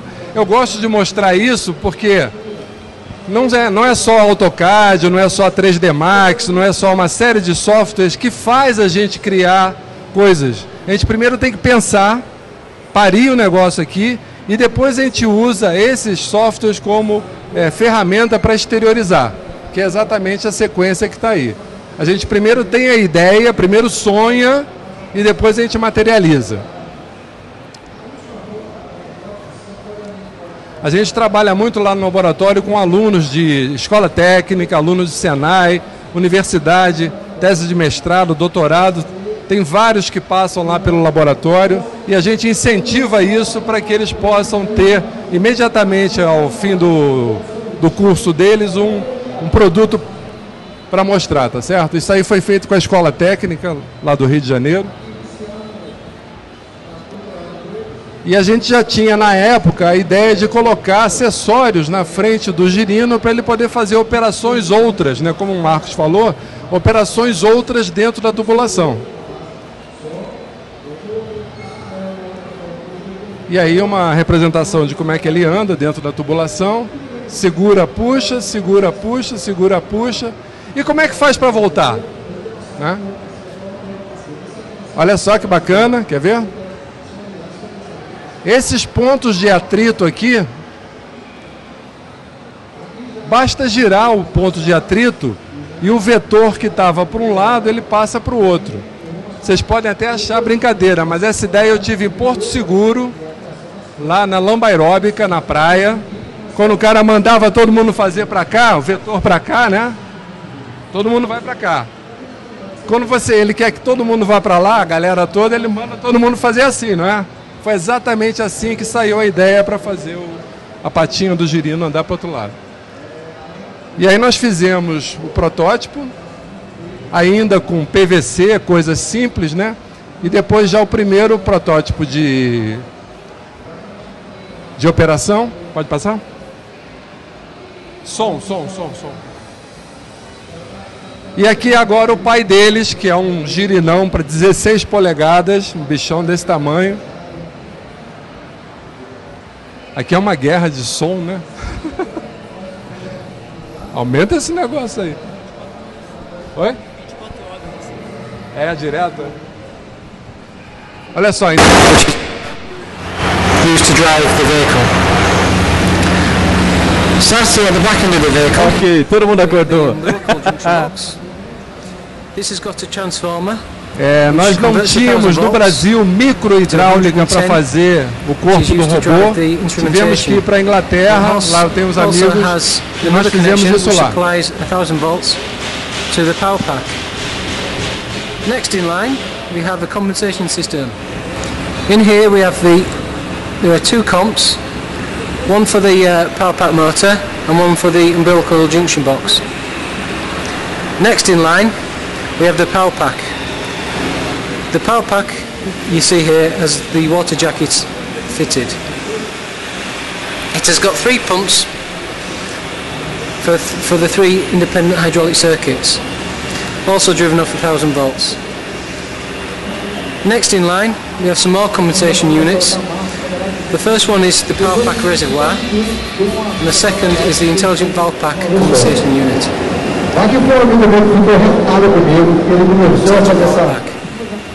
This controls the three hydraulic circuits and also houses the electronics to drive and to monitor the sensors.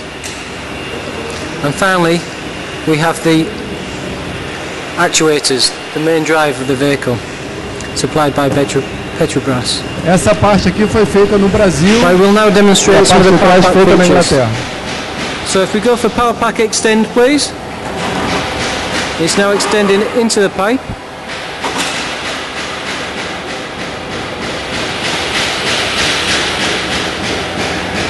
Could you engage the wheels please?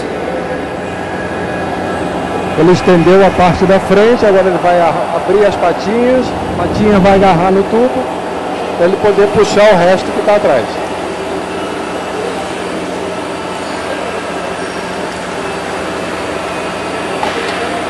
There we go.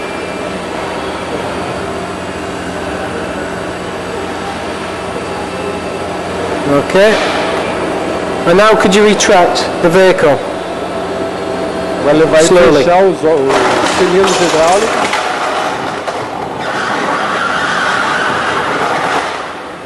And extend.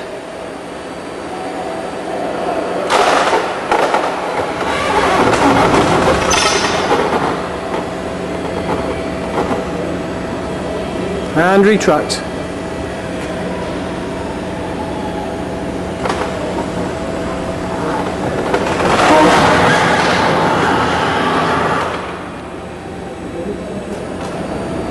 Bom, agora as quatro patinhas lá da frente e aí de trás estão presas no tubo. E ele agora pode caminhar normalmente dentro da tubulação, em modo automático. And retract.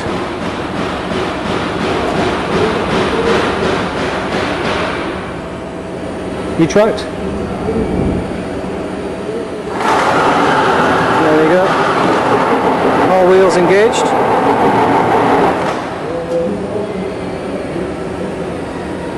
Right, we will now demonstrate the auto crawl, crawl feature.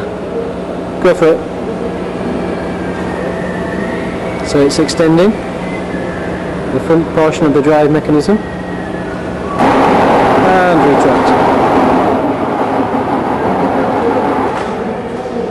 A gente consegue fazer até 100 metros por hora caminhando dentro da tubulação. E a ideia é que ele vá fazendo isso e essas bordas de borracha aqui já vão raspando a tubulação para quando chegar lá na frente a tubulação está ali.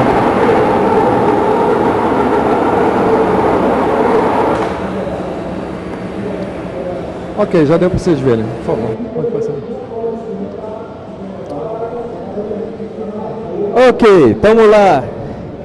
Depois da gente olhar toda essa parte, é, possibilidades que a gente tem dentro dessas, dessas áreas né, de, de estudo, de pesquisa, de trabalho, é, empresas. Então, o que eu estou olhando aqui é o seguinte: quando, quando a gente estava preparando, eu falei assim, ô Ney, é, tudo bem, a gente fala lá sobre, sobre a parte de espaço, sobre robótica, tudo, mas pensa bem, nesse meio que a gente está para falar ali com esse pessoal, existem muitos talentos, existem muitas boas ideias. É, ou seja, parte no, da nossa ideia, do nosso objetivo aqui é convencer pessoas aqui que gostem da área para comecem, comecem a pensar a entrar nessa área de robótica. Em que, em que setor? Né? Na área de robótica e na área de aeroespacial. Lembrando que eu estou aqui com a agência espacial, então um dos gargalos que a gente tem dentro do programa espacial é justamente a falta de pessoal. A gente precisa de pessoal qualificado.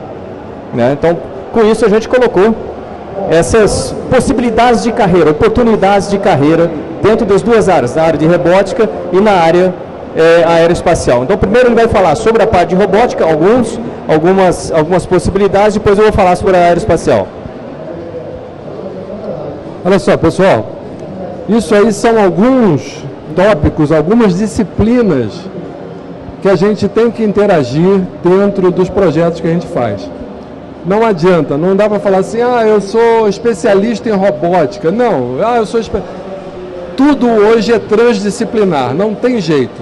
O cara, o cara é fodão em mexer com, com software, mas ele tem que saber consertar a tomada, ele tem que saber ver, ver as coisas como é que estão em volta e tem que saber materializar isso que ele sonhou, tá certo? Então, essas aqui são só algumas das áreas de atuação que a gente precisa para desenvolver os robôs de uma maneira legal, uma maneira competente. Eu não vou ficar lendo isso tudo, mas vocês podem se ver aí dentro. E o principal, aqui embaixo, né? Pela característica transdisciplinar e dos desafios dessas propostas, é esperado e nós fortemente incentivamos que outras áreas de estudo venham trabalhar com a gente. Porque o Marcos falou há pouco ali, o robô não tem emoção. Mas se nós pudermos já com inteligência artificial começar a colocar alguns comportamentos nos softwares dos robôs, isso vai ajudar ele a interagir com o ambiente e mandar informação para a gente. Tá certo? E aí vem o meu lado aqui, ó, a, a parte aeroespacial. Tudo que ele falou com relação à transdisciplinaridade na parte de robótica aplica é exatamente a mesma coisa aqui. É, a diferença é que, como eu coloquei aqui, a gente vai estar com o nosso corpo no meio. então, a parte de engenharia, a parte de aeronavegante, pensando aqui é, na parte de aviação, seja como piloto de aviação, comissário, é, ou mesmo os que não são aeronavegantes, pensando na parte de manutenção, a parte técnica também. E a parte de astronauta. Tá? É uma coisa que às vezes o pessoal me pergunta, fala o seguinte, é, vai ter outra seleção, a gente vai ter outro astronauta, como é que está esse negócio? Então vamos ver aqui. Está no seguinte, é, por enquanto eu sou o único astronauta. Eu fui o primeiro, sou o único que está que tá lá à disposição do Programa Espacial Brasileiro como, como astronauta para outras missões. Mas a gente não dura para sempre. A gente precisa de mais gente.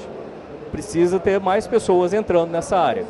E como eu falei, nessa área do programa espacial, na área é, aeroespacial, faltam engenheiros, faltam é, muitas pessoas para trabalhar nessa área. Pensando nisso, hoje em dia, além de ficar lá em Houston à disposição do, do programa espacial para outras missões e para contatos técnicos, aqui no Brasil, junto com a Universidade de São Paulo, com a USP, em São Carlos, no campus de São Carlos, onde tem a engenharia, né, a escola de engenharia da USP lá, tem agora um departamento de engenharia aeronáutica. Né? Então eu sou ligado ali com o professor catalano lá, é, e a, o meu objetivo ali é criar o curso de engenharia aeroespacial. Então, ali na USP, a gente pretende que dentro do, de um ou dois anos já tenha o curso operando. Em termos de pós-graduação, já está aberto para ser feito pós-graduação nessa, nessa área, na aeroespacial. Então, é um caminho sendo aberto. O ITA também, o ITA, é o Instituto de Tecnologia Aeronáutica, em São José dos Campos, já abriu também um curso de engenharia espacial, então já tem 10 alunos lá na primeira turma, então esse negócio já está prosseguindo.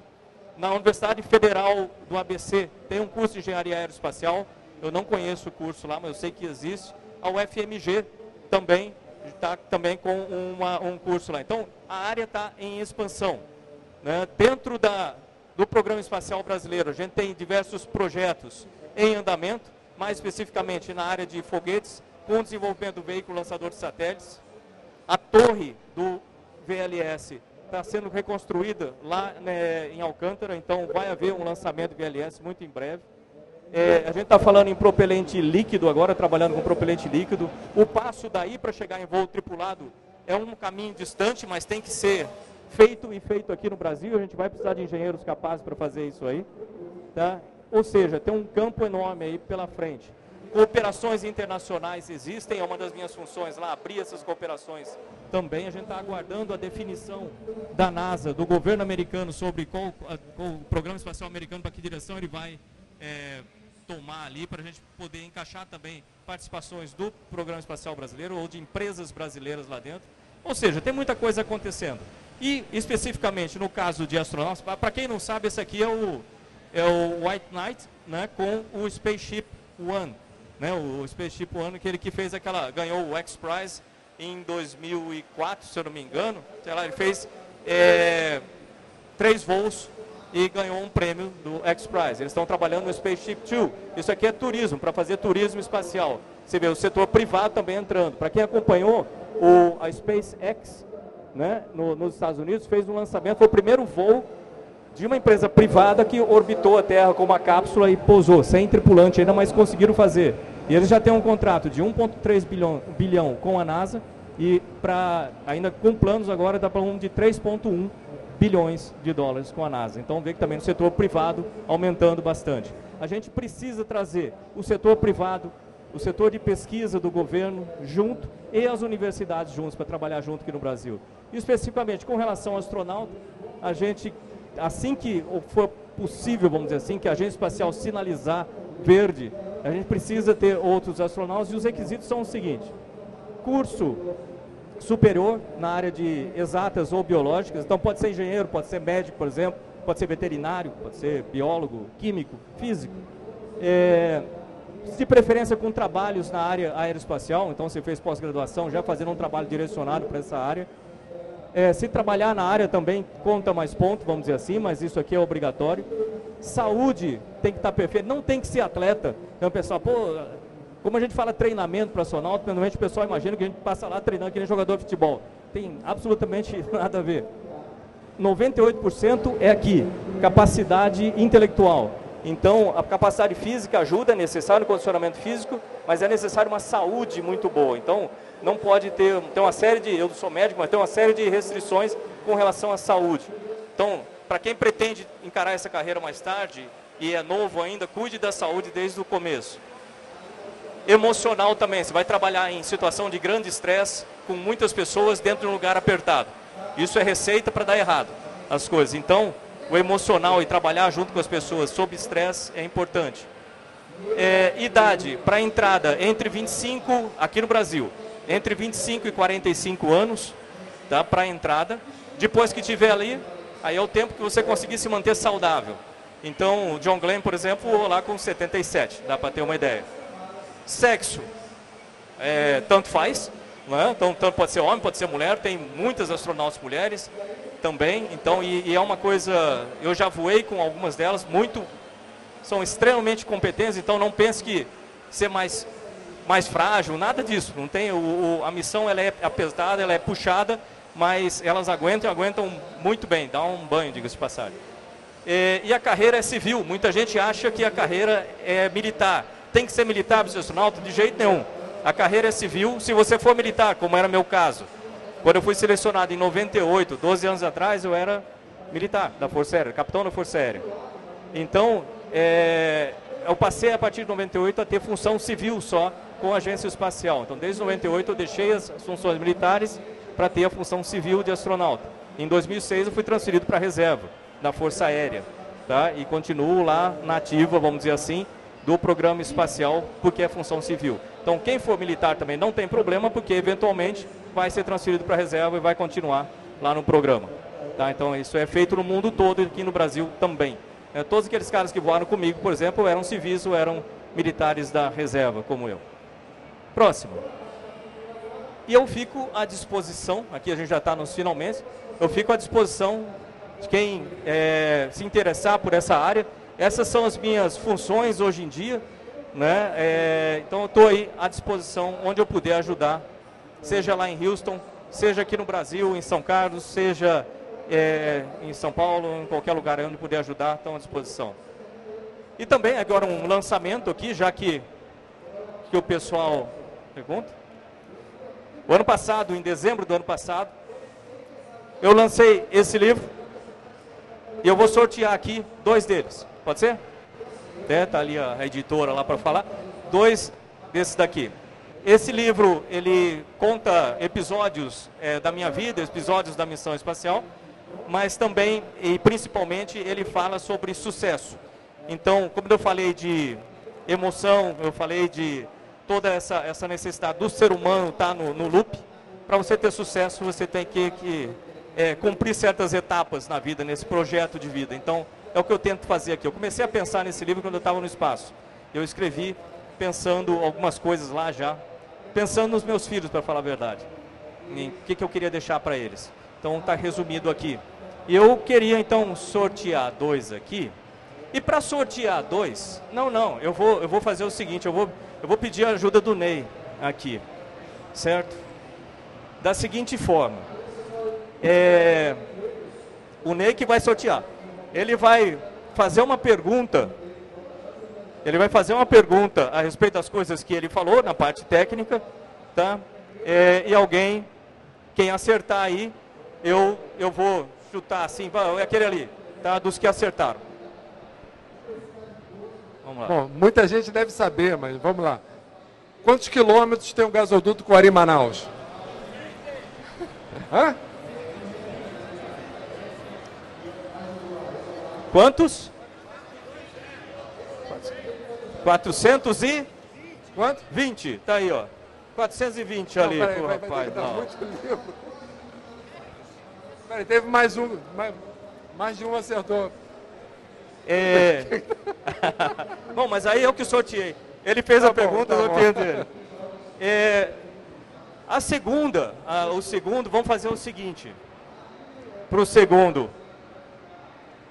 é, tem que ter identidade, tá bom? Tem que ter identidade. Quem faz aniversário hoje? Faz hoje? Sério? Tem identidade aí? Tá aí, presente de aniversário. Não foi combinado, viu?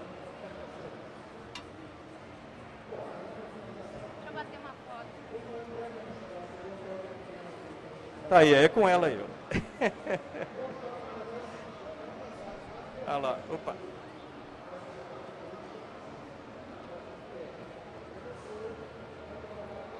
Tá joia, gente. Olha, é, só para considerações finais aqui, eu queria agradecer muito a presença de todos, da minha parte.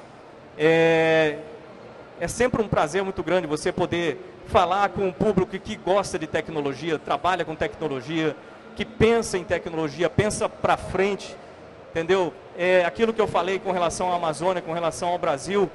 Nunca se esqueçam disso, a Amazônia, né, a Amazônia é nossa. É, não é para fazer mau uso, não é por nada, mas é nossa. Entendeu? Então, lembrem-se desse negócio. Eu, quando eu vejo essa, por isso que eu falei no começo que eu gosto do Chico, aquele do robô, né?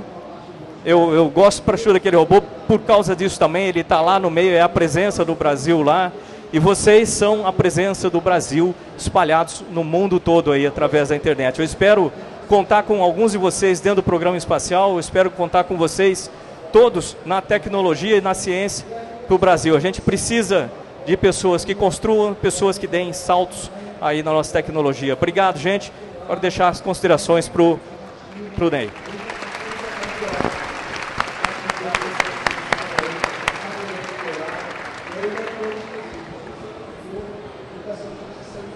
Bom, eu Como consideração final, né, e mantendo o que eu acredito desde que eu comecei a mexer com tecnologia, eu acho que nós não estamos no mundo só para ganhar dinheiro ou só para ter sucesso. Eu acho que nós, no nosso dia a dia, na nossa atividade, a gente deve ir além daquilo que nos foi pedido e além daquelas especificações que nos falaram.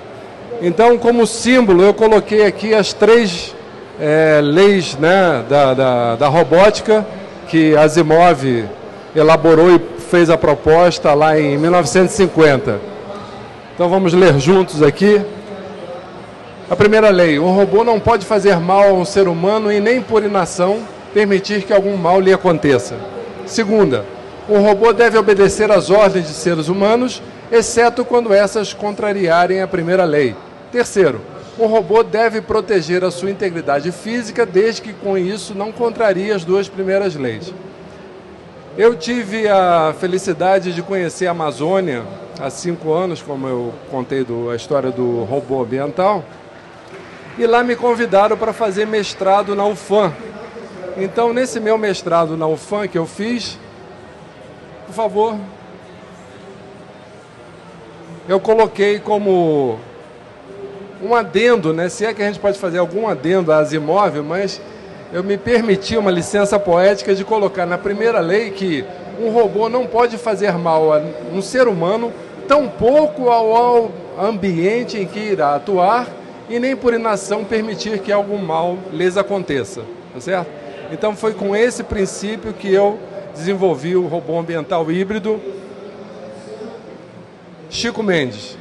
Então, eu falei lá no início que eu acho que uma das coisas que ajudou muito o projeto a andar muito rápido foi porque nós demos o nome do robô ambiental híbrido, Chico Mendes. Para os íntimos, a gente chama de Chiquinho, né? Mas acho que esse cara lá de cima deu uma força enorme para a gente. Eu agradeço muito e agradeço, agradeço muito a vocês e novamente a, ao convite que a gente recebeu. Muito obrigado. Valeu.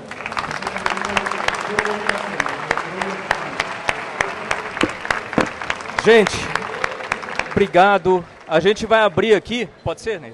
Para é, quantas? Cinco. Cinco perguntas. Cinco perguntas. Então, aí só, só levanta, aí fala para quem que é e manda bala. Eu, ela leva o microfone aí na hora.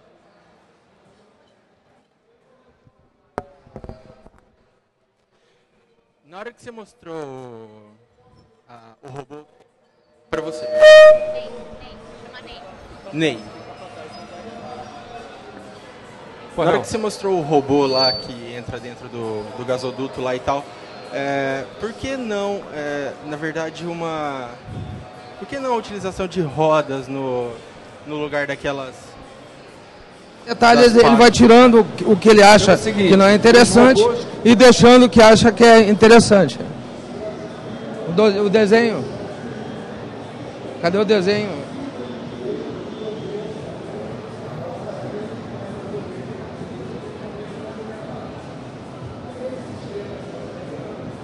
Esse desenho aí, é, é, na verdade, ele tirou uma foto da janela o ano passado, num gabinete igual ao meu, que ele fez o corte. Já um gato? E ele aproveitou essa mesma foto para fazer.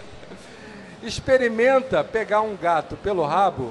Ninguém vai fazer maldade com gato, não, hein, gente? Experimenta pegar um gato pelo rabo no sinteco. Ele vai ficar patinando, ele não vai sair do lugar. É exatamente isso que os robôs com roda sofrem real do, do, do tamanho da janela.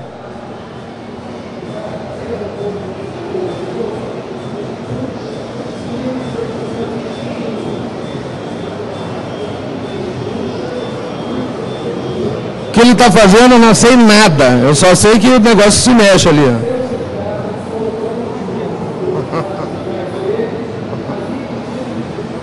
La idea un poco eh, primeramente tomar la foto eh, de etapa.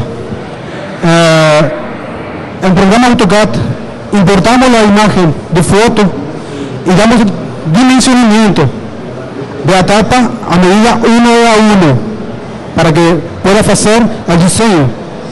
¿Se comprende? Foi o o que eu falei. Ele deixa o tamanho da janela na, na exata medida dela. Como ele faz isso, não tenho a menor ideia.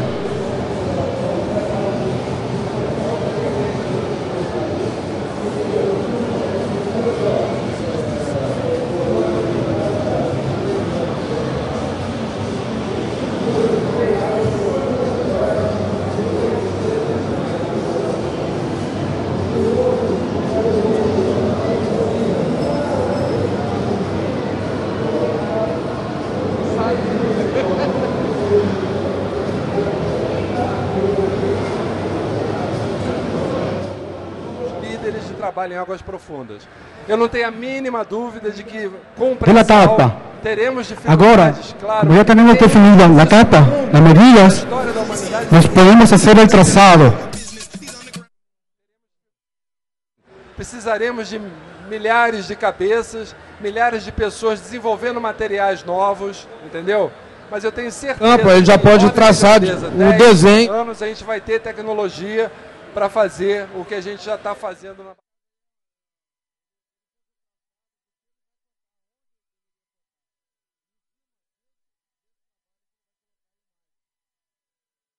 a sazonalidade é muito, muito estranha, a gente não conhece aqui. Engenheiro não consegue pensar com coisas que não funcionam sempre igual, tá certo?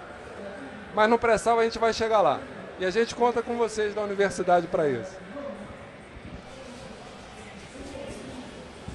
É, uma pergunta sobre o robô. Naquela hora que você falou que ele poderia é, carregar 1.600 quilos, né? Se fosse um motor elétrico, não seria capaz de fazer isso?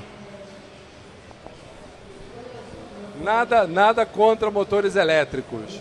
Só que para você transformar um, um engenho que não tenha.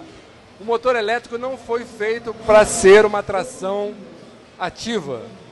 Ele foi feito para ser uma tração passiva. Tanto que se você chegar no motor, você freia ele, tá certo? Ele precisaria de um mecanismo tão complexo na frente dele que o robô ia ficar muito grande e quase que inviável de você enfiar dentro de uma tubulação. E eu... Não que o motor elétrico não sirva, ele precisa de um outra, uma outra abordagem de engenharia para ele poder fazer a mesma coisa. Tá certo? Mais uma coisinha, Marcos. É, eu, você tinha falado da, do curso de engenharia aeroespacial. Isso. Eu sou estudante de engenharia aeroespacial Opa, da Universidade legal. Federal do ABC, que esse curso começou há pouco tempo atrás. É, e eu fiquei muito feliz em receber seu livro, já estava namorando o livro faz um tempinho bom, quando eu fiquei sabendo que você ia escrevê-lo.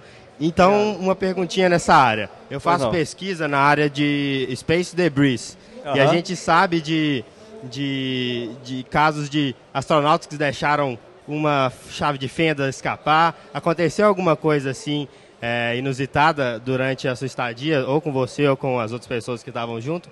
É, não, nesse, nesse particular, no, no lado externo, não. Né? Durante o tempo que a gente estava dentro da, da espaçonave, sim. A gente teve um alarme de fogo. É... Ele está ele tá faze, ele tá fazendo uma piada, que ele disse que é uma imagem bem simplesinha que o Gustavo escolheu. Ele tinha pedido para o Gustavo escolher uma imagem simples, não muito complicada. Aí o Gustavo escolheu essa aí, que é bem simplesinha, né? bem fácil de fazer, né? Isso é uma piada, claro, porque é uma imagem complexa, difícil de trabalhar, mas foi feito de sacanagem mesmo, para ele passar trabalho no, no serviço dele. Ele poder mostrar todo o potencial dele. São as vermelhas. E a gente estava dormindo à noite nessa hora, então foi uma experiência muito boa, mas eu conto aí também. Ah, agora, Dentro também, não aconteceu, quando eu estava lá, logo depois que eu saí, teve um problema num sistema que produz oxigênio por reação química no, é, no lado russo, no SM, no módulo de serviço russo, que ele chega a 300 graus aqui. Tinha a vida dele? É montar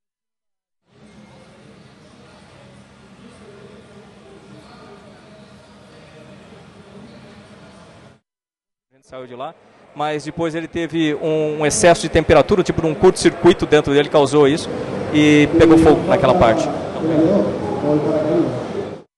Depois. E durante o tempo do Soyuz, também nos dois dias para chegar lá, a gente teve também um problema de variação de temperatura entre os dois módulos habitáveis, né? a cápsula e o BO, que é o módulo de habitação em cima, uma variação de temperatura grande devido a um problema de circulação de ar com, por causa de um experimento francês que tal, eles colocaram num, numa posição e não tinha onde colocar em outro lugar, que era um grande, e tampava um pouco a circulação do ar para aquele lado, então eu não conseguia equalizar a temperatura. Então a gente acabou solucionando usando criatividade na, na hora lá, a gente não tinha outra maneira de, de fazer. Então a gente criou uma tubulação externa ali para transferir a, a ventilação da cápsula para o BO. Né? São as três coisas que aconteceram ali. Dessas questões de soltar lixo, soltar coisa no espaço, é, toda aquela ferra, ferramental que a gente traz no, no, na, no traje EVA, aqui na frente ficam as ferramentas. Então ali é uma estação de ferramenta que você destrava, abre aquilo, ela te mostra as ferramentas aqui na frente e toda ferramenta ela é presa com um tether. É um, um cabinho né, é, fininho, mas bastante resistente, que você puxa, ele, ele distende uma, uma carretilhazinha, então você pode usar o ferramental, soltar, ele, ele vai voltar e ficar batendo aqui, você põe ele no lugar de novo. Todos eles são previstos ter isso aí. Quando você chega na estação de trabalho também, o equipamento que a gente leva é um cuidado danado em, em prender tudo. Mas, como é, aí é um ponto de ser humano, né? ser humano às vezes é, falha, e é normal isso aí, por causa de emoções e outras coisas também. É, já aconteceu de a gente soltar aquela a ferramenta, começar a, a, trabalhar, ela quebrar o cabo, em vez de você colocar num lugar próprio onde você tira de operação, ela continuou operando com ela com o cabo solto. E, logicamente, a coisa soltou. E nessa, nesse caso especificamente, aquilo soltou e foi. No espaço é duro que qualquer velocidade inicial, toda aquela lei de física que a gente aprende na escola funciona 100% lá, né? Então, se você quiser sair daqui, por exemplo, do lado de lá, você empurra a parede aqui, você vai voando para lá. Se empurrar pouco, você para no meio do caminho. Se empurrar muito, você se esborracha lá. Se empurrar alinhado com o seu é, centro de massa aqui, você vai na reta. Se empurrar desalinhado, você vai, vai girando, tudo aquilo é válido. Então você vê, você vê aquela ferramenta, sai voando e ele está preso ali. O que, que ele fez? Ele deveria ter deixado. Por, aí a segurança ultrapassa esse outro problema, você tinha, deixa, registra, reporta e acabou. Ele não queria perder a ferramenta, né, deixar um negócio voando ali perto de ele soltou um dos tethers, a gente fica sempre com dois, ele soltou um dos tethers, o outro que estava mais estendido dava espaço para ele se mover, ele empurrou e foi atrás da ferramenta, ou seja, se soltou do, da estrutura, coisa que não está previsto fazer, pegou a ferramenta em voo, depois fez um procedimento para se trazer de volta pra, pelo, pelo tether. Não está previsto, mas acontece. Tá? É, Marco, mais uma pergunta. É, eu sou da Universidade de Pernambuco também, professor Opa. Joab de lá. É, meu mestrado e a dissertação de doutorado do meu orientador foram sobre segurança e confiabilidade de sistemas de aeronáutica e, avia e aviação. Certo. É, e aí, assim, a gente, ele trabalhou com o SACI-1, o projeto uhum. do INPE, né? É, e aí eu, eu queria comentar como é que você vê a questão do INPE, é, desde a da, do SACI-1 até hoje, a questão de o INPE ainda não ter conseguido assim um satélite brasileiro é, melhor, assim a gente tem uma, uma, um, um programa brasileiro de espacial mais bem visto financeiramente, digamos assim, e conseguir colocar mais satélites e conseguir mais é, empenho dos brasileiros nesse sentido? Ah, ótima pergunta. Olha, o, o INPE é um dos, um dos órgãos de execução operacionais do programa espacial. Você tem agência espacial, tem o INPE cuidando da, da parte de satélites, meteorologia, etc. Tem a parte do, de foguetes com o IAE, né, dentro do, do CTA lá, que vai cuidar da parte de foguetes. E tem os centros de, centros de lançamento. O INPE, ele é, vamos dizer assim, ele faz o possível dentro das, das restrições que ele tem. Aí você vai falar quais são as restrições? Orçamento. Orçamento é uma das restrições, sem dúvida. O programa espacial como um todo no Brasil sofre com essa questão de orçamento. Mas não é só orçamento. Porque não adianta você ter um orçamento de um bilhão de dólares de uma hora para outra se você não tiver uma infraestrutura que vá usar aquele orçamento. Você não tem o que fazer com um bilhão, vai colocar onde? Aquilo, exatamente aquilo naquele espaço. É, então precisa de uma política, sim, de é, investimento e utilização é, da tecnologia espacial crescente como fez a Índia, por exemplo. Você fala, você, tem inveja do programa americano, que eu estou lá há um tempão já com os caras? Não, porque o programa é outro, é fora do, do nosso escopo atual.